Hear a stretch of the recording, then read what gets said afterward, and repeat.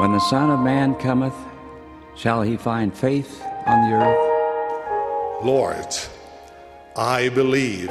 Help thou mine unbelief. May our testimonies be as deep and as strong as that of Jacob, who, when confronted by one who sought to destroy his faith, declared, I could not be shaken.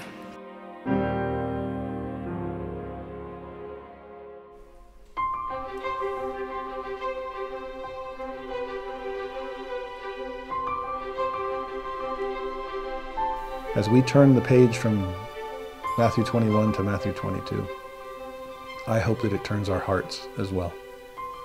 So that when God calls, we come running.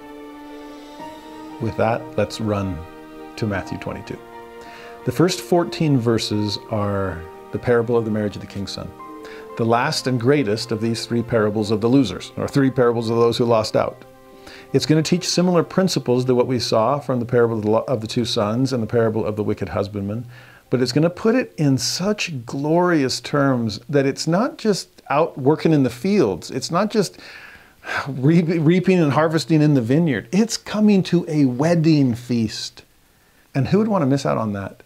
Especially when it's the king himself that's throwing the party. This is your chance to come into the palace, maybe the one shot you'll ever have. So notice how the Lord teaches this. Like I said before, we saw in Luke 14, well, we didn't see, I skipped it. But in Luke 14, there was the parable of the Great Supper that Jesus teaches right after the people start fighting over where, to, where they get to sit. Remember that discussion? The best seat in the house, and if you take the best, then there's only one way to go. So sit in the worst, and the Lord will move you up. It's in that context that he teaches the parable of the Great Supper, because it's a matter of coming in and sitting down to eat. But this one is in more of a second coming context. It's more of a much is given, much is required context. It's in the context of what are you going to lose out on if you don't meet the Lord's great expectations. Now, Matthew 22, verse 1 And Jesus answered and spake unto them again by parables and said, The kingdom of heaven is likened to a certain king, that's God, which made a marriage for his son. So, the, who's the prince of peace? Who's about to get married? And who's he getting married to? This is Jehovah and Israel, and we, as we saw in so many marriage metaphors in the Old Testament. This is Christ and the church, as Paul will teach clearly to the Ephesians. This is the marriage of the Son of God and he invites us all to celebrate with him. The parable says that the king sent forth his servants, there's the prophets again, to call them that were bidden to the wedding. But here's the irony they would not come. So this is just like the son who said he would go to work. I mean, they, accepted the invitation originally, but when it was actually time to come and party, they wouldn't come. They refused. They, I mean, switched the metaphor and you have, instead of the son who wouldn't work, you have the wedding guests that won't come to the party.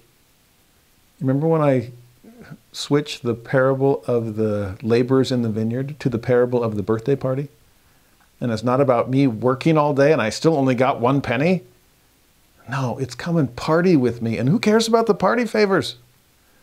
The Lord is making that same kind of switch here. Let's let's not worry about laboring in the vineyard for now. Let's come and talk about rejoicing together because a relationship, a covenant relationship, is being formed. Do you have any idea what you'll miss out on if you don't come to the marriage? Well, verse 4 again, he sent forth other servants saying, Tell them which are bidden, Behold, I have prepared my dinner. My oxen, my fatlings are killed. All things are ready. Come unto the marriage. What are you waiting for? This is going to be a feast like you've never experienced. Oxen, we're killing multiple. Fatlings, this is the good stuff. This is, oh, wine on the lees, well refined. This is more than the fatted calf. This is a wedding feast that only a king could provide. And everything's ready and waiting. Just come. Notice how he keeps on pleading. He sends forth other servants. Are you sensing the parallels between this parable and the previous one? God does not give up on us, He keeps on inviting. But do we keep on rejecting? These people did. It says that they made light of it and went their ways, one to his farm, another to his merchandise. And the remnant took his servants and entreated them spitefully and slew them. And with that, we're back to the parable of the wicked husbandman. They killed them just for coming and reminding people about a wedding feast? Man, you really don't know what the king is trying to offer. Some of the language behind this, by the way, entreated them spitefully. In other translations, it simply mistreated. But it's worse than that. It's to treat them shamefully, to, be, to behave insolently and outrageously. It's to, the, the Greek suggests that it's to exercise violence against them, physical or figurative. You name your pick, pick your poison. But the actual original Greek word there comes from the Greek word hubris, which is interesting because hubris is a word we even use in English to denote pride. But such a pride that feels like you are so in control of everything. How dare anybody say anything to you? No wonder these these mere people, these subjects of the king, have such hubris that they can not just dismiss and destroy the servants of the king, but dismiss the king himself, which is really what they're doing. I also find it interesting to see these two extremes. The, on the one hand, you see people uh, just kind of shrugging their shoulders, making light of it, was the phrase and others being so up in arms and outraged by this that they end up killing the servants that came to reinvite them. I've talked about this before about the tendency when, when people attack faith, for example, to go on the extremes and either minimize faith, like it's no big deal, just make light of it, or maximize the perceived threats of faith to make it the ultimate enemy that must be opposed. Usually in Scripture, you'll either see ridicule and mockery on the one side, that's the dismissive, uh, or violence and persecution on the, on the other. That's the up in arms outrage. I've often described this as either dismissing or demonizing. Or another way to say it is to minimize or to maximize. In my classes, I've even showed what you usually see at the top corner of your computer screen where there's one button to minimize and another button to maximize, and then a third button to just close the whole thing out. And that's really the ultimate goal of the prior two in this case. Satan doesn't care if you don't take the, uh, the gospel seriously or you take things so seriously that you're ready to fight it tooth and nail. Either way, he wants you to close down the possibilities of faith. And we see those exact things happening here. Now, among those that were minimizing, those that just kind of shrugged their shoulders, made light of it, and said, ah, I've got some other things going on, so thanks but no thanks. I'd lo- love to be there, but I must, oh, regretfully decline. What did they come up with instead? Instead of going to the palace, they wanted to stay on their farm. Instead of going to celebrate, they wanted to stay home and and merchandise. they wanted to sell things instead of receive things. See, that's the irony. The king was there to offer them the feast, but they thought they had better options back home. My farm can enrich me. My merchandise oh, could definitely do that too. And who has time to, to waste on the king or the prince? when I could be working for myself and trying to get ahead. Now, it's here that the Luke parable of the Great Supper really comes in handy. It's almost identical. It's not a king in this case, but again, it's somebody that has this great supper, massive feast, and he's inviting all these people to come, and they won't come. In, in Matthew's parable of the marriage of the king's son, the excuses they come with, up with are fairly vague. My farm, my merchandise. In the Luke account, they're their excuses are much more specific. It's really interesting. So this is Luke 14, 18 through 20. They all, with one consent, began to make excuse. And that tells us from the very beginning. That's all these are. These aren't real reasons. These are just excuses. But they've kind of come together with one consent. They're kind of whispering behind closed doors, like, how do we get out of this? Well, let's come up with some good reasons. I, I know down deep they're just excuses, but oh well, here's what the best we got. The first said unto him, I have bought a piece of ground, and I must needs go and see it. I pray thee, have me excused. I mean, at least he's being polite about it, right? I pray thee, please excuse me from this. I just can't go. Uh, because you bought a piece of ground and have to go see it? The ground's going to be there tomorrow. In fact, if you're just now thinking about going to see it, did you not see it before you bought the thing? Are you that rich that you can just buy real estate without putting eyes on it? Or are you that clueless and careless that you're just, oh, just anything for me? I'm sure, I'm sure things will work out for the best. But yeah, I've got to go see. Well, that's one. How about another? Another said, I have bought five yoke of oxen, and I go to prove them. I pray thee have me excused. So he's just as polite as his predecessor, but comes up with a different reason. Uh, the first guy had, had land. I have the wherewithal to plow it. Five yoke of oxen. But I haven't tried them out yet. I got to go on a test drive, okay? So, so sorry, I can't make it. Now, the third, another said, I have married a wife, and therefore I cannot come. And He's not even polite, like, please have me excused, I pray thee. But he just calls it out, like, therefore. It's like, it's, it's obvious why I can't come. I have the most legitimate reason of all. I just got married myself. So, hey, glad you're getting married, but I beat you to it. And uh, I'm going to go stay home with my wife while you go and celebrate getting married to yours. Now, the interesting thing about this third one is that that guy actually does have a leg to stand on, as far as the law of Moses is concerned. Because according to the law of Moses, the, when you are married, you are off limits to the, anyone who wants to draft you into the royal army, for example. You cannot be enlisted your first year of marriage. It's, it's the law of Moses' way of helping newlyweds work things out. okay? And getting from creation through some minor fall into better atonement that first year of marriage. Figure things out, work out your differences, and two becoming one. Sometimes that takes a while. So, yeah, focus on that. That will bless Israel more than one more soldier in the king's army. Okay? You're excused. I wonder if this guy is using something similar.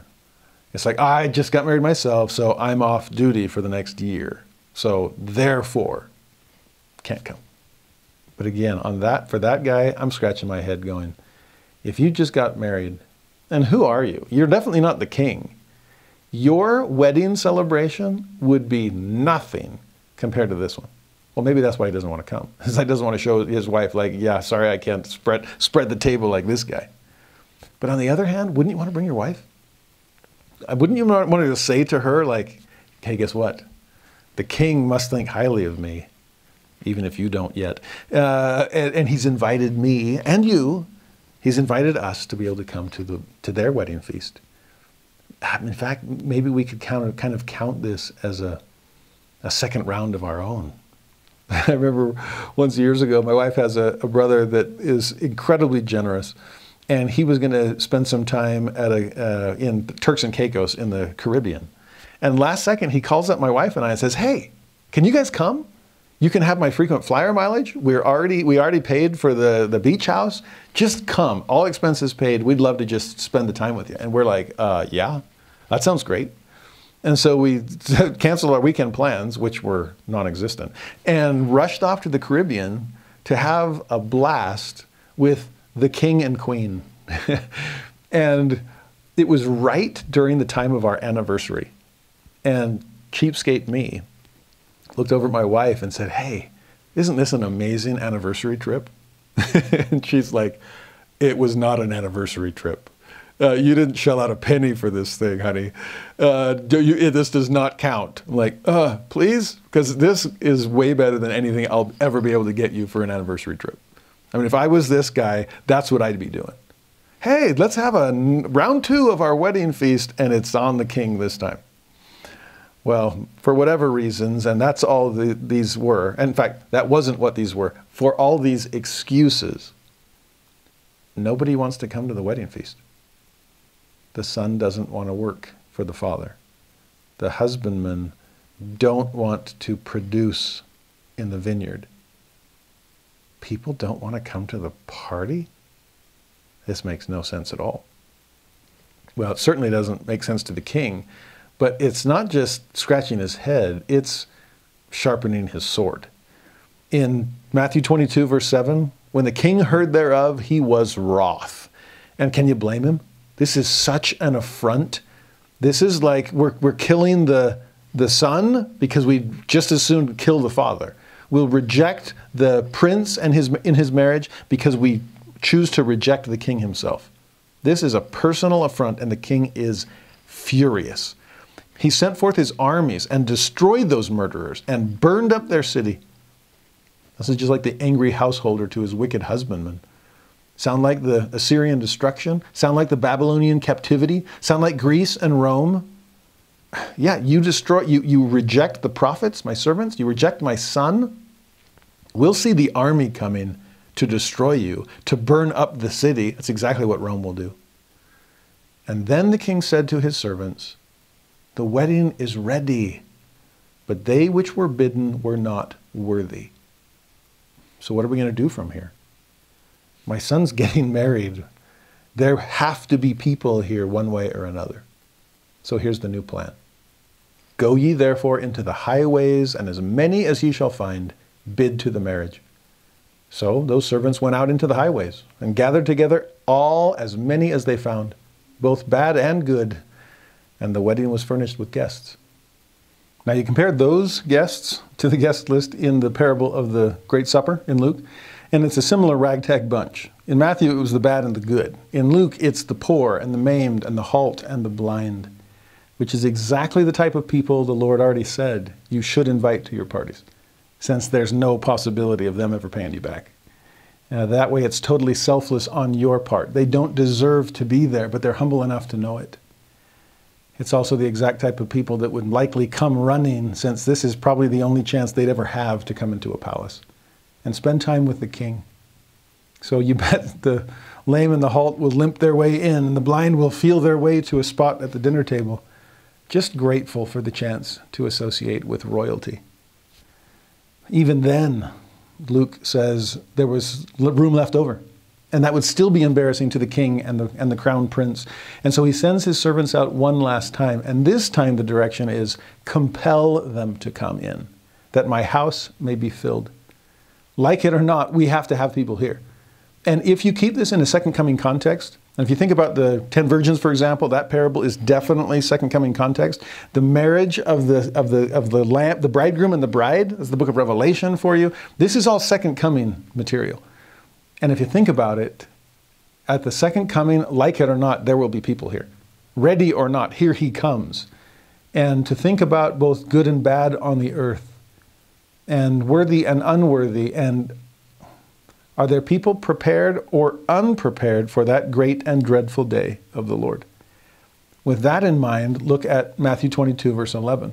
When the king finally comes in, relieved, okay, this is not going to be an embarrassment for my son. There are people here. But notice what he sees, what he sees. When the king came in to see the guests, he saw there a man which had not on a wedding garment. And he saith unto him, Friend, notice he calls him that, that's good at least. Friend, how camest thou in hither not having a wedding garment? And he was speechless. No way to rationalize or justify himself. The day of excuses has come and gone. How did you get in here improperly dressed? Well, having been given a chance to explain himself, and the man knowing there's no, there's no excuse I can give, what's left for him? The king said to his servants, Bind him hand and foot and take him away, and cast him into outer darkness. There shall be weeping and gnashing of teeth. And then the moral of the story For many are called, but few are chosen. I called both sons only one ended up coming. I, I called so many times to those husbandmen, and they rejected my calls every time. I called people to the wedding, And they made excuse and gave reasons why they couldn't come. I called more, and finally there was no more calling, there was compelling. There were people here, like it or not. But among those that I called, there were some that were not chosen because they did not choose to come on the king's terms. They probably felt well, like they deserved to be there. There's some of that hubris we were talking about before. And know, I, I kind of run the place. In fact, I should be on the throne, not at some lower place on the table. And waltzing in in their own clothing, unwilling to accept the wedding garment that the king would offer his guests, yes, they were cast out into outer darkness, unchosen because they wouldn't choose him. Now, some of you may remember that back in October of last year, Elder David A. Bednar of the Quorum of the Twelve gave an amazing conference talk in which he talked about this exact parable. The talk was called Put on Thy Strength, O Zion, a great Isaiah phrase, but he spent more time in Matthew than he did in Isaiah. Uh, to describe what putting on that strength looks like, what it's like to wear a wedding garment when you are invited to the marriage of the king's son. In it, he described Jewish weddings as the ultimate time of celebration. They could last a week or more. And because it was so, oh, such a big deal, it was a long time in coming, and they would send out invitations early, long in advance, so that people would know it's on its way. And then they'd send out servants again when it was time to start. So now it's now, it's now come running. You see the same kind of thing happening in this parable. Now, Elder Bednar also pointed out, as we've discussed, that a politely declining no, that does not do justice to the offense that they are shoving in the king's face. We are rejecting the crown prince because we are rejecting you. This is like the prodigal son. I'm treating you as dead. I just want my inheritance. I don't care about celebrating that your kingdom is going to continue. I'm worried about building my own kingdom, thank you very much. So let me stay with my, my farm or my merchandise. Let me look at my ground or test drive my oxen or just stay at home with my own queen as we build our own kingdom together. It's all about them and not about the Lord. And refusing the king's invitation, in some ways, like it's the it's the older brother of the prodigal son, that the father is throwing a major party, and the fact that his firstborn won't come in and celebrate with him, oh, that's offensive too. The neighbors are going to be whispering behind his back. And the fact that the king, the father would have to come out of his own party to go find this older son and invite him to come in, no, that's, that's beneath him as well. Well, one other thing that Elder Bednar points out is that in this culture, especially if this is the king, and he's bringing anyone who possibly is willing to come into the wedding feast, then he's not expecting them to have their own wedding garment. No, he will provide one to them. And typically it's one that keeps them all on an equal playing field. That kind of like the clothing we wear in the house of the Lord. When we go to his palace for a wedding feast, we all look the same, so there's no distinctions of rank and order and wealth and so on. You wouldn't be able to tell so easily who's the bad or the good, or who's the wealthy or the poor. And yet, as Elder Bednar points out, the effrontery of this, this friend, despite the fact that the king calls him that, this man does not act like any friend of the king. The obstinance on his part, I'm going to do things my way, and yet he is left speechless when given the chance to explain why he would do it. The day will come where our reasons fade and our excuses evaporate. And all the self justification and rationalization that we were used to in life for coming unprepared, it goes up in smoke. As Jacob says in 2 Nephi 9, we will finally admit to the Lord that he was right all along and that we didn't do things his way as we should have. Elder Bednar also was wise to point out that there is a JST at the end of all of this that seems to bring it all full circle. This is the exclamation point at the end. Right after that phrase of conclusion, many are called but few are chosen, the JST adds, Wherefore all do not have on the wedding garment. So bringing it all full circle back to that one element of the parable. This boils down to being properly dressed. Now, I, I laugh about this because I'm never underdressed. I'm always overdressed. White shirt and tie is kind of how I, how, I roll. And typically, I'll be out mowing the lawn in a white shirt and tie, and throwing the football with my sons in a white shirt and tie, and grilling uh, dinner on, out on the barbecue in white shirt and tie.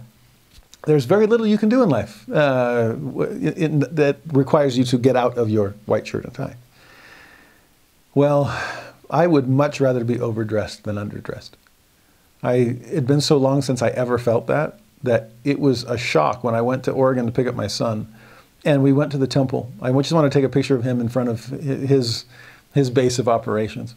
But I had just flown there and we were going to drive back quickly. I didn't bring any church clothes. And I was in oh, sweatpants and a grungy t shirt and a baseball cap. And, and I'm walking outside the Portland, Oregon temple with my son in his missionary attire.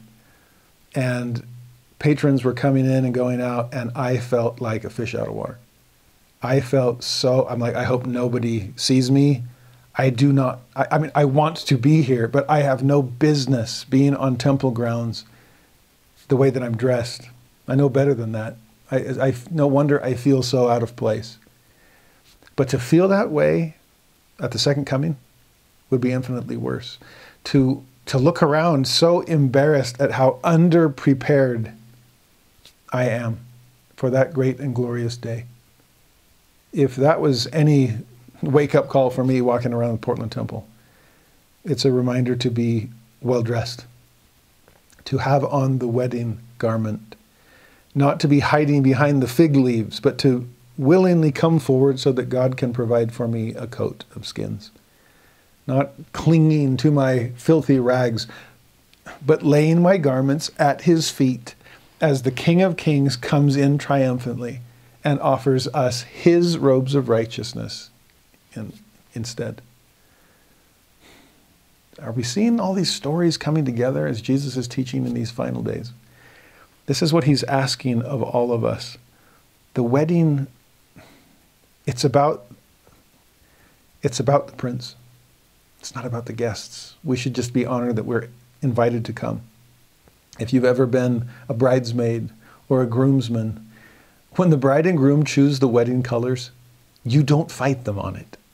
You don't stick out like a sore thumb. You don't, no, I'm going to wear my own thing. If, that's, if those are the colors you want, those are the colors we'll wear. And what an honor just to be able to come and celebrate with you. That's how we're supposed to feel about this wedding. Now, obviously, the Jewish leaders don't feel that way about the wedding. Uh, they didn't like this round of story time as it's getting closer and closer to, to, to targeting them. So they get off the defensive and they try to get back on the offensive. Uh, forget the three parables you just taught. I've got three questions I want to trap you with. And they must have short memories because they don't recall that Jesus just trapped them with a question of his own and they couldn't get out of it, so they just avoided the whole thing about where did John get his authority. Now, notice the first question that they ask. We'll go to Matthew 22, verse 15. Then went the Pharisees and took counsel how they might entangle him in his talk. That's the plan here. We've just got to trip him up, make him, make him an offender for a word. Mark says it was certain of the Pharisees, so not all of them, but also of the Herodians. And if the Pharisees are church, then the Herodians are state. And both religious and political leaders are trying to destroy him. Specifically, they're trying to catch him in his words. So entangle him, catch him. Uh, the Luke version says they watched him and sent forth spies, which should feign themselves just men, that they might take hold of his words, that so they may deliver him unto the power and authority of the governor. Interesting. They knew they didn't have any power or authority of their own. They're just reaching out for somebody who might have some. And sure enough, they sent out unto him their disciples with the Herodians, there's a state, saying, Master, we know that thou art true, and teachest the way of, tru- of God in truth. Neither carest thou for any man. In other words, you're no respecter of persons. You don't care what people think. Uh, you can be trusted to tell the truth and not be swayed by popular opinion. I mean, that's why we're coming to you. Now, remember the detail that Luke gave us. They're feigning themselves to be just men, they're pretending. And so here they come, faking their own righteousness. Oh, lots of leaves and no fruit here. But asking the Lord, oh, we, have got a question for you, and you're the best one to, to ask because, oh, you, you speak truth, and, and you, you're not a, a reed shaken in the wind either. Same with your cousin. Now, after that level of buttering him up, uh, we know that thou art. Well, I mean, in some ways it reminds me of Nicodemus, though Nicodemus was most likely more sincere. When Nicodemus said, We know that thou art a teacher come from God. Uh, so I've got a few questions about how the rest of us can come to God. Here it's, Oh, you are so righteous. You always tell the truth. But this is just flattery. They're trying to trick their way into Jesus so they can trick him, trip him up, catch him in his words. And here's their question Tell us, therefore, what thinkest thou? Is it lawful to give tribute unto Caesar or not? Those are your two options. You don't get any other. There's no getting around this one. So, should we have to pay taxes or not?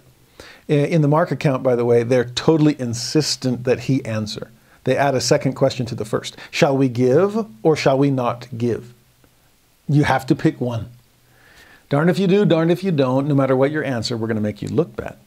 Because if you say, oh, no, no, no, we shouldn't have to pay taxes for Rome, to Rome, then we're just going to throw you at, to the Romans and let them do our dirty work.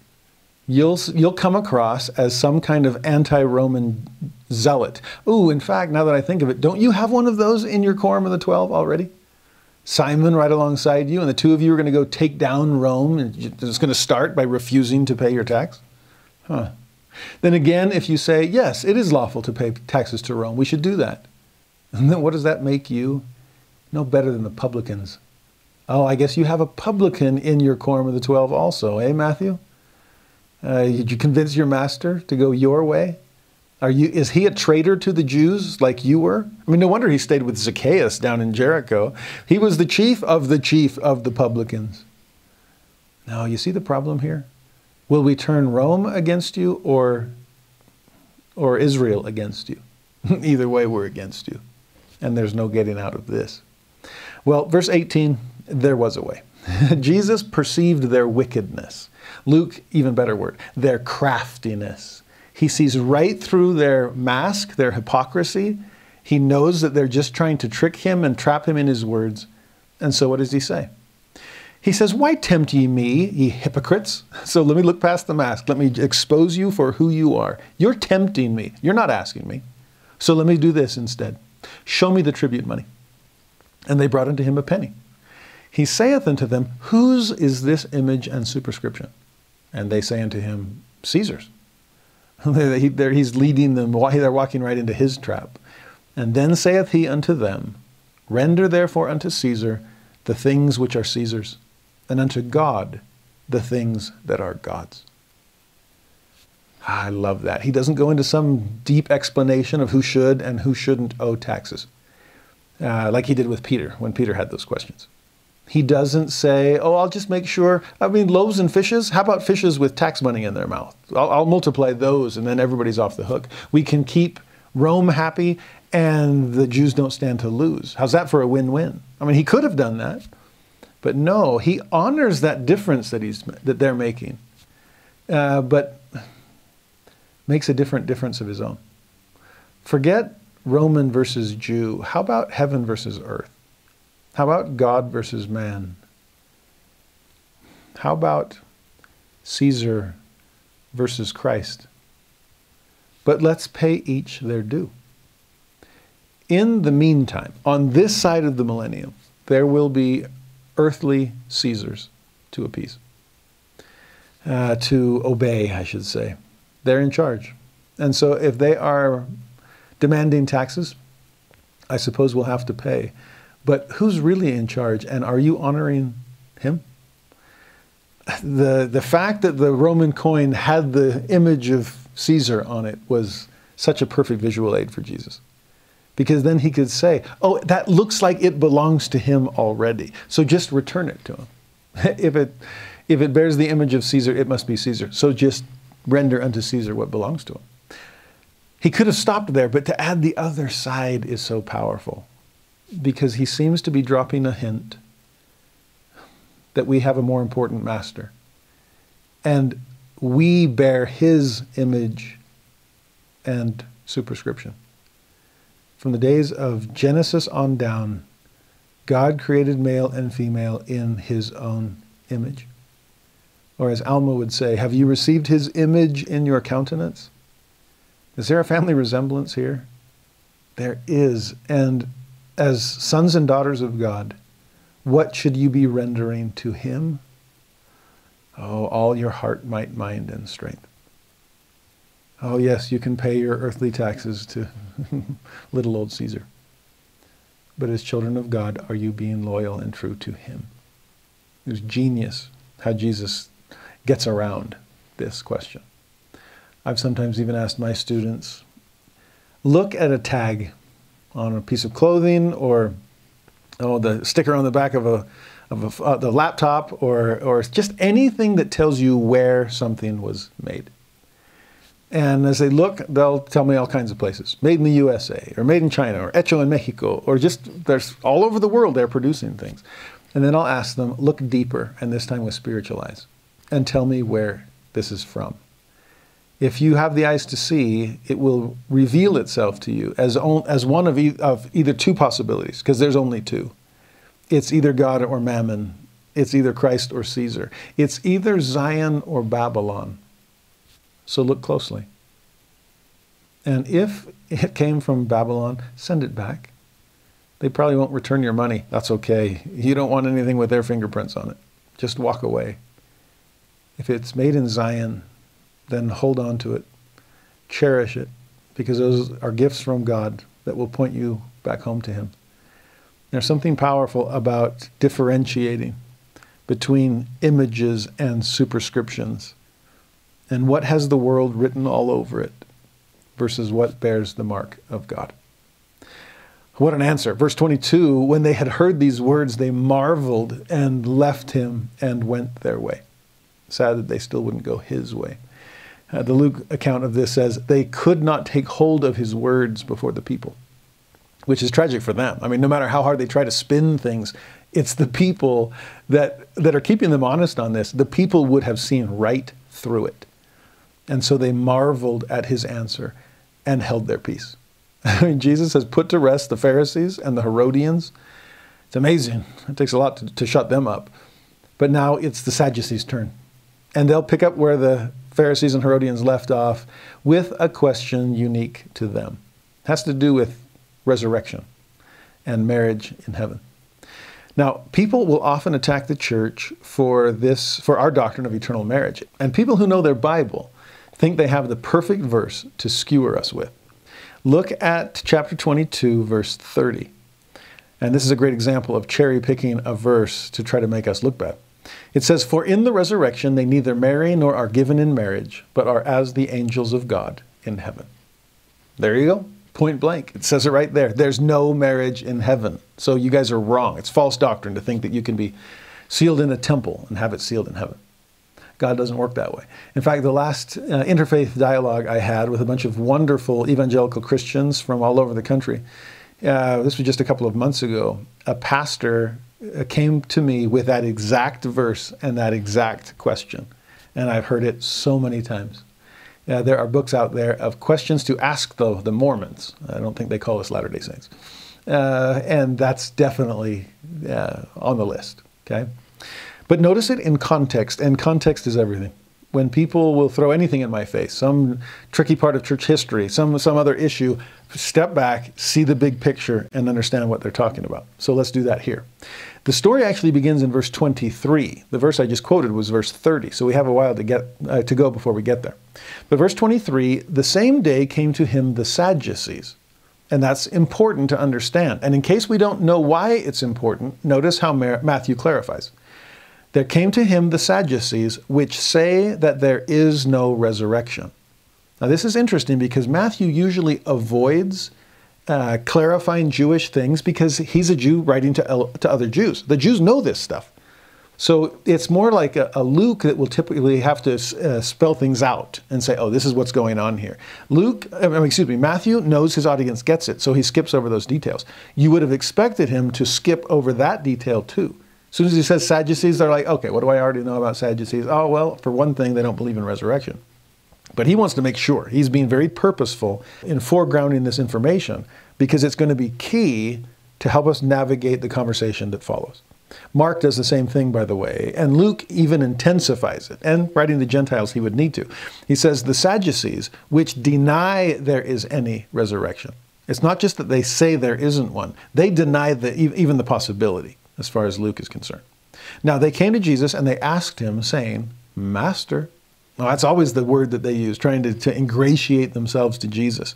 Well, Master, Moses said, Are we doing that again? pitting prophets against prophets. Moses said this, but what do you say? Well, close.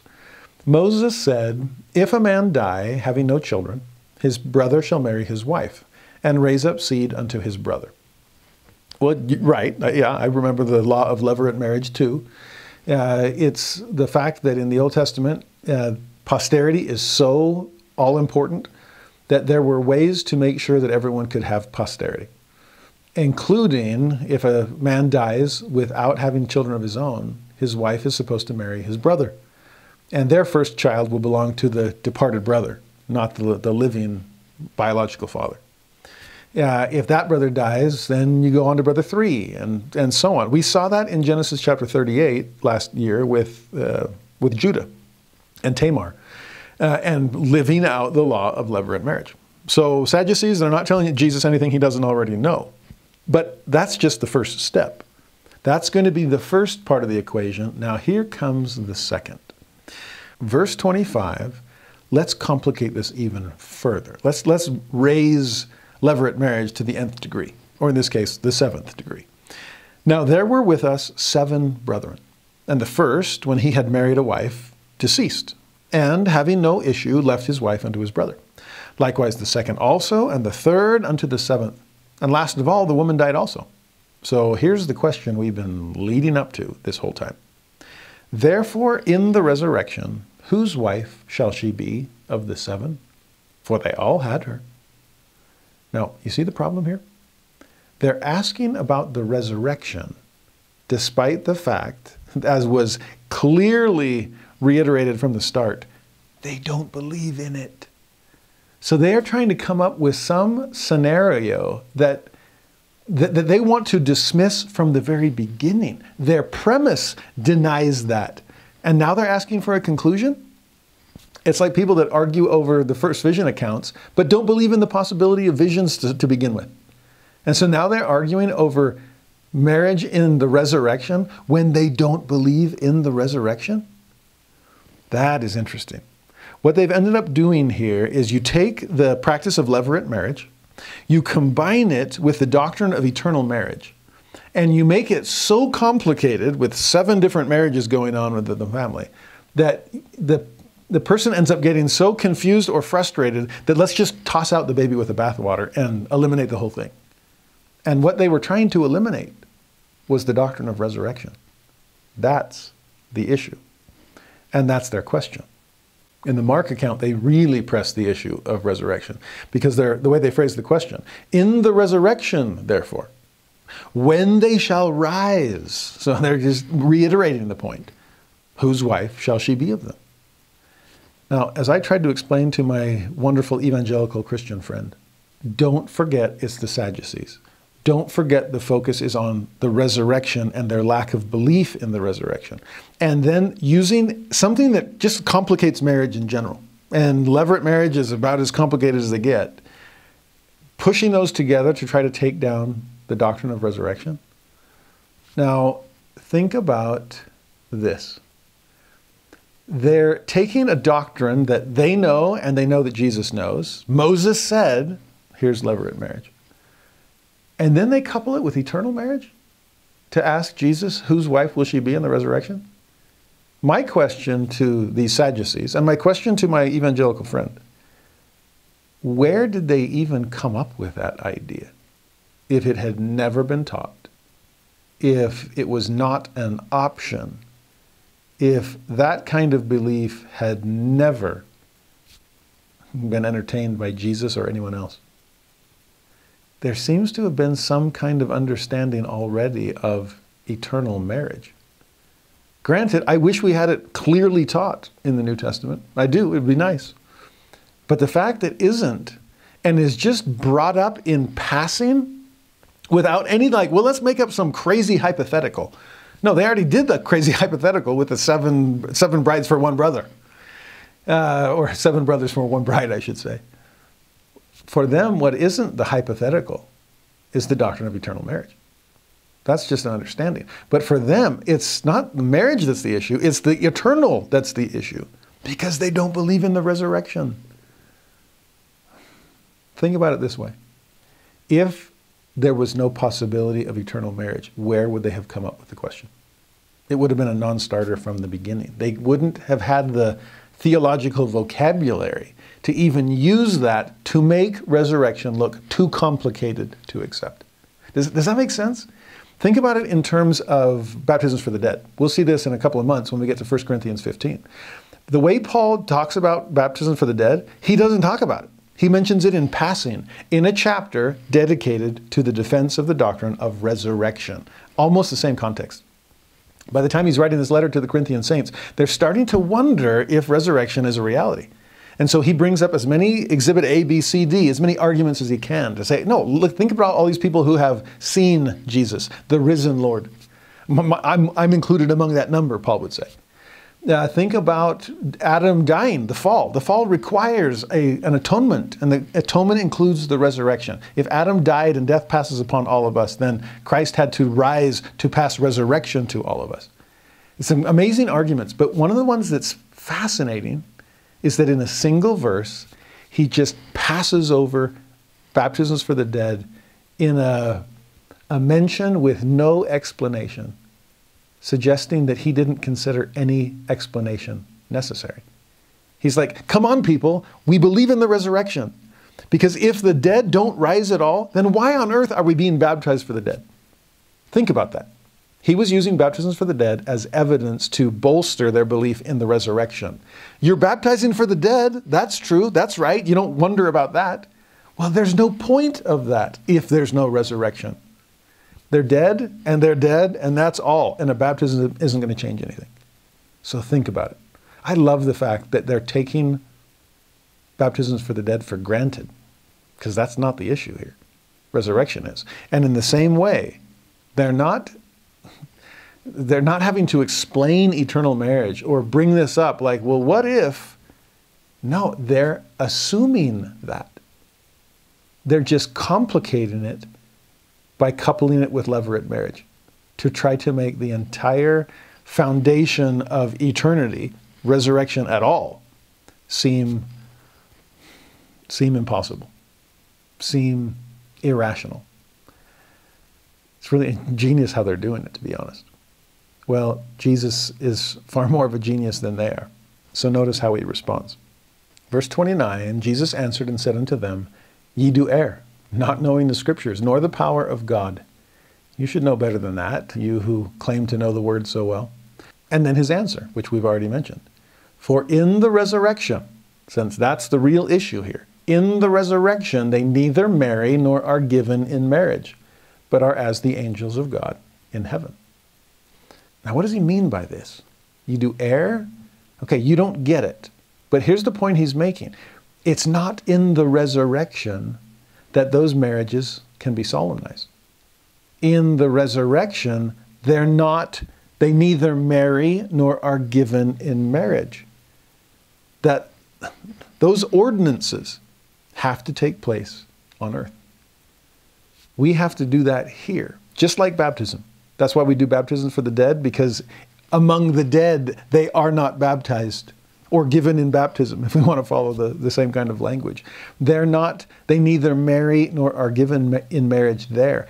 That has to happen here, whether by a couple directly or by proxy, but by someone else that's here on earth. There's something about the physicality of, of ordinances that we do things with our body and we need a body to do those with. So to be baptized, to be sealed. Now, this is even more clear in the Luke account. Chapter 20, verse 34 to 36. Jesus answering said unto them, The children of this world marry and are given in marriage. See, it has to happen here, just like baptism. But they which shall be accounted worthy to obtain that world and the resurrection from the dead, uh, no, there they neither marry nor are given in marriage. And then he uses another example of the same kind of concept he's trying to teach. Neither can they die anymore, for they are equal unto the angels and are the children of God, being the children of the resurrection. So over and over, he's hammering resurrection, resurrection, resurrection. It's real. Trust me. Believe me, I'm, I'm about to prove it later this very week. Now, what I love about Luke and his account, in some ways, it's more helpful than Matthew's version. They, people tend to attack us based on Matthew. We could defend ourselves better based on Luke, though Matthew gives us the chance to do the same. I just like how he clarifies the difference between this life and the next, or in his language, this world versus that world. Where is the wedding supposed to take place? And I'm going to be I'm going to try to be clear here and differentiate between weddings and marriages. Because a wedding is an event. It takes place. It is solemnized. Something happens. There's a there's a date. And then there's marriage, which is a, a state, a status. It's a condition that follows the wedding, right? Are we understanding the difference here? Even the language that Jesus uses, whether in Matthew or in Luke, is talking about the wedding, the event. He doesn't say there's no marriage in heaven. He says there's no weddings in heaven because the way he phrases it, they are neither they neither marry, that's a verb, it's the, the moment it happens, nor are given in marriage. Do you understand the difference here? This is really, really, really key. I, I hope this is making sense. If Jesus is being really clear and specific here, and he's going to need to be to be able to navigate around the Sadducees, let's talk about the difference between a wedding and a marriage, uh, between a, a verb and a noun, between an event and a permanent status, or a status at least that is meant to be permanent. Let's start with weddings and marriages, shall we? The wedding has to take place in this world. Because in heaven, they neither marry nor are given in marriage. The ceremony can't take place, it has to happen here. Why can't it happen there? I don't know. Same with baptism. Why? Get, maybe it's back to that corporeality, the need for a physical body to do a physical ordinance. Okay? But for whatever reason, God has required that that be done here, whether in person or by proxy. But it has to happen in this life. The event has to happen in this life. But, what is, but that doesn't say anything about whether or not the status can or can't continue in the next life. As far as the Sadducees are concerned, nothing will continue in the next life. There isn't one. So why are we even talking about it? Good question. Why are you asking about it? Well, because we're trying to make that look like a logical impossibility.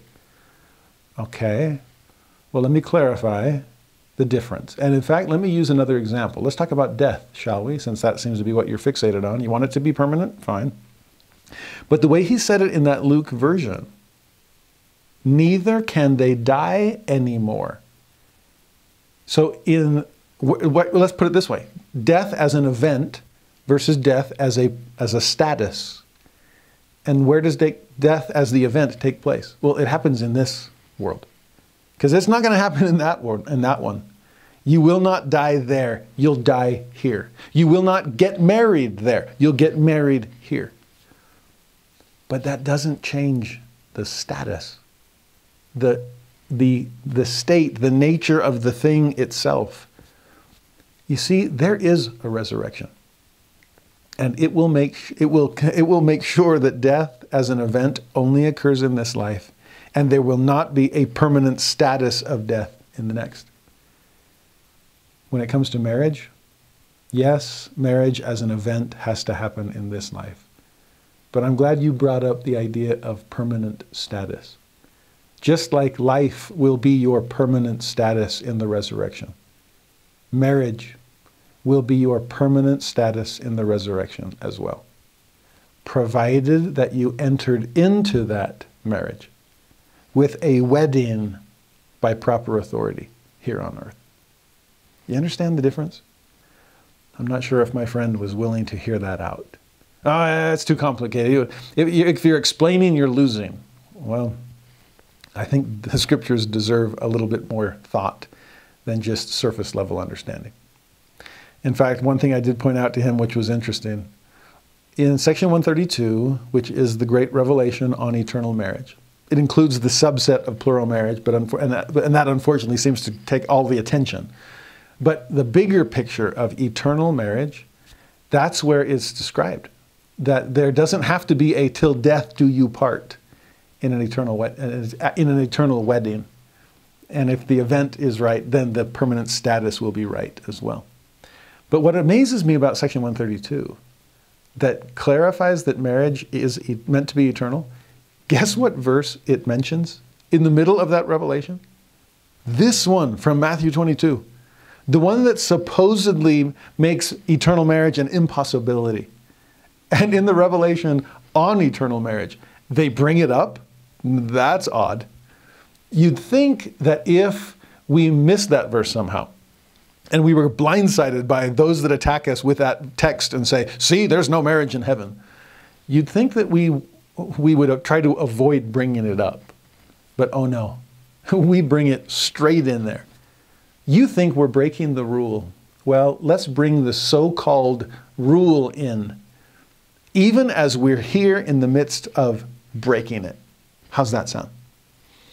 That's like speeding while you're holding the speed limit sign out, sign out the window as you breeze past the highway patrol. He's like, that's pretty bold. Uh, well, it's pretty bold of the Lord to mention this verse in section 132. By the way, he does the same thing about that verse at the end of Revelation. You can't add or take from the books of the, uh, the, the scriptures in the Bible. And guess what? That's, that warning is reproduced in section 20 of the Doctrine and Covenants. the prohibition against adding is including in some of the scripture that we've so called added. Amazing. Uh, we're not being flippant, we're being thoughtful and trying to express to people Joseph Smith didn't invent this doctrine out of ignorance of your so called rule from the Bible. No, he understood it differently. And with a prophetic gift of scriptural interpretation, of course, he can see the truth and see how Scripture still fits that truth instead of your shallow misapplication of it. So here's the verse in section 132. It's verse 15 and 16. Therefore, if a man marry him a wife in this world, and that's the same kind of phrase that we saw in the Luke, the children of this world, they're the ones that can marry. Well, if a man marry him a wife in the world, and he marry her not by me nor by my word, so it wasn't done in the right way by the proper authority in the proper place. If he covenant with her so long as he is in the world and she with him, then their covenant and marriage are not of force when they are dead and when they are out of the world, therefore they are not bound by any law when they are out of the world. Again, you see him comparing this world and the next world, in or out? Therefore, and now how's this for Matthew 22? When they are out of the world, they neither marry nor are given in marriage, but are appointed angels in heaven. And then he even clarifies what it means to be that kind of an angel, which angels are ministering servants to minister for those who are worthy of a far more and an exceeding and an eternal weight of glory. There it is, the so called rule repeated in the very revelation that breaks that rule. Or so people think. No, we just interpret that verse very differently. The wedding must take place here. If it does, then the permanent status of marriage will continue in the next life. And that to me is a glorious blessing. The fact that there is a next life at all is an incredible blessing as well. But that's one that the Sadducees deny from the start. It's actually there that Jesus comes back to that topic, since he knows that's really what they're after. and, and Matthew and Luke and Mark are all trying to clarify that that's, that's what we should see in this too. So let's get back to that real question about resurrection. Uh, verse 31 and 32, back in, in Matthew chapter 22. But as touching the resurrection of the dead, since that's what you're really asking, isn't it? Have ye not read that which was spoken unto you by God, saying, I am the God of Abraham and the God of Isaac and the God of Jacob? if you've read that, if you know that verse, then you'll know this too. that God is not the God of the dead, but of the living. In the Mark version of this, he even sneaks in an extra affirmation of the doctrine. He says, And as touching the dead, that they rise. Let me make that clear. Have ye not read in the books of Moses how in the bush God spake unto him, saying, and then the same phrase I'm the God of Abraham, the God of Isaac, and the God of Jacob. He's not the God of the dead, but the God of the living. Ye therefore do greatly err. And then you'll see the same idea in Luke chapter 20, verse 37 and 38. Now that the dead are raised, so he, there he is, confirming the doctrine from the very beginning all over again, bearing his testimony, that the dead are raised, even Moses showed. So, you so called experts in the law of Moses, you don't know your Moses very well. Moses showed that the dead are raised. He showed it at the bush. So, both uh, Mark and Luke mentioned the burning bush as the source of this experience. And what did God say to Moses from the midst of the burning bush? He called the Lord the God of Abraham and the God of Isaac and the God of Jacob. And there it is again. He's a God not of the dead, He's a God of the living, for all live unto Him. I mean, think about it. Otherwise, why would you bring up Abraham, Isaac, and Jacob to Moses when by Moses' day, those guys are long gone? But for God to introduce Himself to someone in the present by mentioning people in the past, but keeping it in the present tense. Not, I was the God of Abraham, Isaac, and Jacob, but they're gone, so their witness of me is gone too. My relationship with them is over. No, I am the God of Abraham, Isaac, and Jacob. I am that I am. How's that for present tense and permanent tense? Abraham, Isaac, and Jacob are as alive and well to me as they ever were when they were on your side of the veil. They're on my side now. But that's even a more permanent condition than anything you guys experience down there below. You understand? Well, the multitudes did. In Matthew 22 33, when the multitude heard this, they were astonished at his doctrine all over again. Or in the Luke version, then certain of the scribes answering said, Oh, Master, thou hast well said. So even the scribes are convinced, like, oh, you got a good point there. We do know our Bible. We do know our Moses. And Moses, okay, that, yep, that's present tense. And levirate marriage and eternal marriage, okay, I guess there is a difference, this world, that world. That was an, imp- you got out, you got away, you got out of that pretty impressively, Lord. I'm, I'm amazed. And after that, Luke says, they durst not ask him any question at all. I mean, he'd showed them up. He'd finally put them to silence, and they're waving the white flag. Well, not entirely. that was the second question that they tried to trap Jesus with. It didn't work, and some people shut up after that. But there was uh, still the group of holdouts that thought, oh, let's go third time's the charm. And it'll end up being three strikes and they're out. But here's their third question Matthew chapter 22. Yeah, Mark will bring up the same question, by the way. But in verse 34, when the Pharisees had heard that he had put the Sadducees to silence, and they were probably, probably excited about that because the Pharisees didn't like the Sadducees and the Sadducees didn't like the Pharisees back. But they both agreed on one thing we got to put an end to Jesus. Well, the Pharisees said, fine, tag out, and, uh, tap out, and I'll come in and take your place. Now, these Pharisees are gathered together. There's the strength in numbers. Uh, anybody got a good idea that hasn't been used yet? And one of them thought of something. One of them, which was a lawyer. So here's an expert in the law of Moses, a, scribe, we typically call them in Scripture. He asked Jesus a question, tempting him, so we know his motive from the start, and saying, Master, there it is again, which is the great commandment in the law? Hmm, which one? Let's just have you pick one because that's the great thing about trying to pick the greatest of anything. Any goat conversation, what's the greatest of all time, will lead to a debate. It will lead to arguments. And there's so many different criteria that go into things of like, well, what are you measuring them by?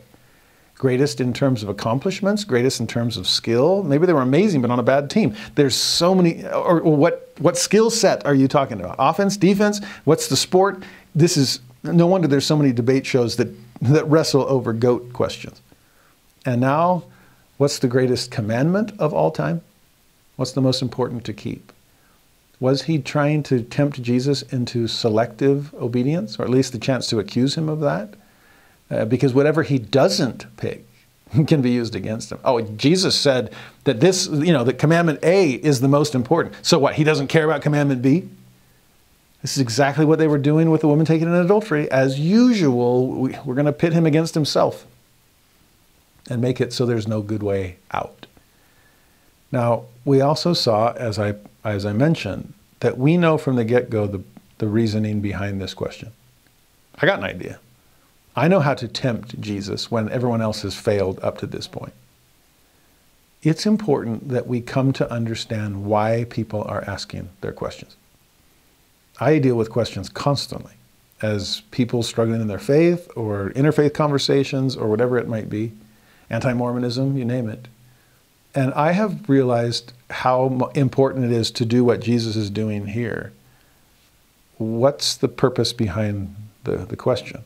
What are you, why, not just what are you asking, that's important, but why are you asking it? Now, we don't have to say that combatively, like, why do you want to know? But if we're calm and open and listen, you can typically tell what's behind the question. And I have sometimes had to end conversations with people by asking them a question of my own about their questions. I'll usually say, Are you asking questions because you want answers? Or are you asking questions because you want me to have questions? If it's the first, I could do this all day. I believe wholeheartedly in the answers of the restored gospel. And if you want those answers, let me give you a chance, uh, give me a chance to give them to you. On the other hand, if you're asking me questions because you want me to have questions, then I think we're done. Because I don't have those questions. And I won't let you force yours upon me. I have responded to those adequately in my own mind and heart. The Lord has confirmed those things to me. And so I think we're done here. And usually they'll agree and we'll part ways amicably and agree to disagree without becoming disagreeable. Well, in a way, Jesus is perceiving that in this lawyer. You're not asking for a good reason. But I can still answer this one, and I'll do it in a way that you cannot accuse me of not taking seriously any of the commandments that I don't mention in the list. It's amazing how he's going to do that. And here's how he does it. Verse 37 Jesus said unto him, Thou shalt love the Lord thy God with all thy heart, and with all thy soul, and with all thy mind. And he could have added to this lawyer, instead of using your God given mind to look for legal loopholes or try to make someone an offender for a word. Uh, just saying. Anyway, this is the first and great commandment. But don't stop there. There is another one. The second is like unto it. So this is a close second, very similar to the first. And what's the second great commandment? Thou shalt love thy neighbor as thyself. And then, just in case you think I'm being uh, limiting and focusing only on love of God and love of neighbor in some kind of narrowly defined way, oh no, this is as broad as it comes. Jesus says, On these two commandments hang all the law and the prophets. Oh, the whole, everything you see in your precious Hebrew Bible the law, the Torah, the prophets, the writings, you name it, it can all be boiled down to those two things. Uh, later, Jewish writers uh, would come up with a list of every do and don't do in the, in, the, in the Hebrew Bible, and they came up with 613 things. That's quite the list. As far as Jesus is concerned, let's not overcomplicate things. Let's take the 613 and reduce them down to two love God, love neighbor. In fact, I guess you could reduce those down to one love, as long as it's the right kind of love. The pure love of Christ, charity, the kind that suffereth long and is kind, the kind that is not puffed up and envieth not, the kind that doesn't rejoice in iniquity and thinketh no evil, the kind that Jesus embodied and personified. That's the commandment. It can all be reduced down to that. Now, what Jesus is describing here is it's one of my favorite passages because it's so simple. Living it isn't always simple, uh, but to see it through that, in that perspective, just love God and love your neighbor. And I'll add to that, love thy neighbor as thyself suggests that there is self love here too, but even that is a pure love and seeing yourself the way Christ sees you. Okay? We saw some of that when we started this week with Zacchaeus. There's some pure love as far as how Jesus saw him and how he hoped Zacchaeus would see himself and see others around him. But to love others, to love self, to love God, that's what Jesus came to exemplify. And to me, that in its simplest form is the cross of Christ. There is a vertical post you stick in the ground. There is a horizontal cross beam you attach to that.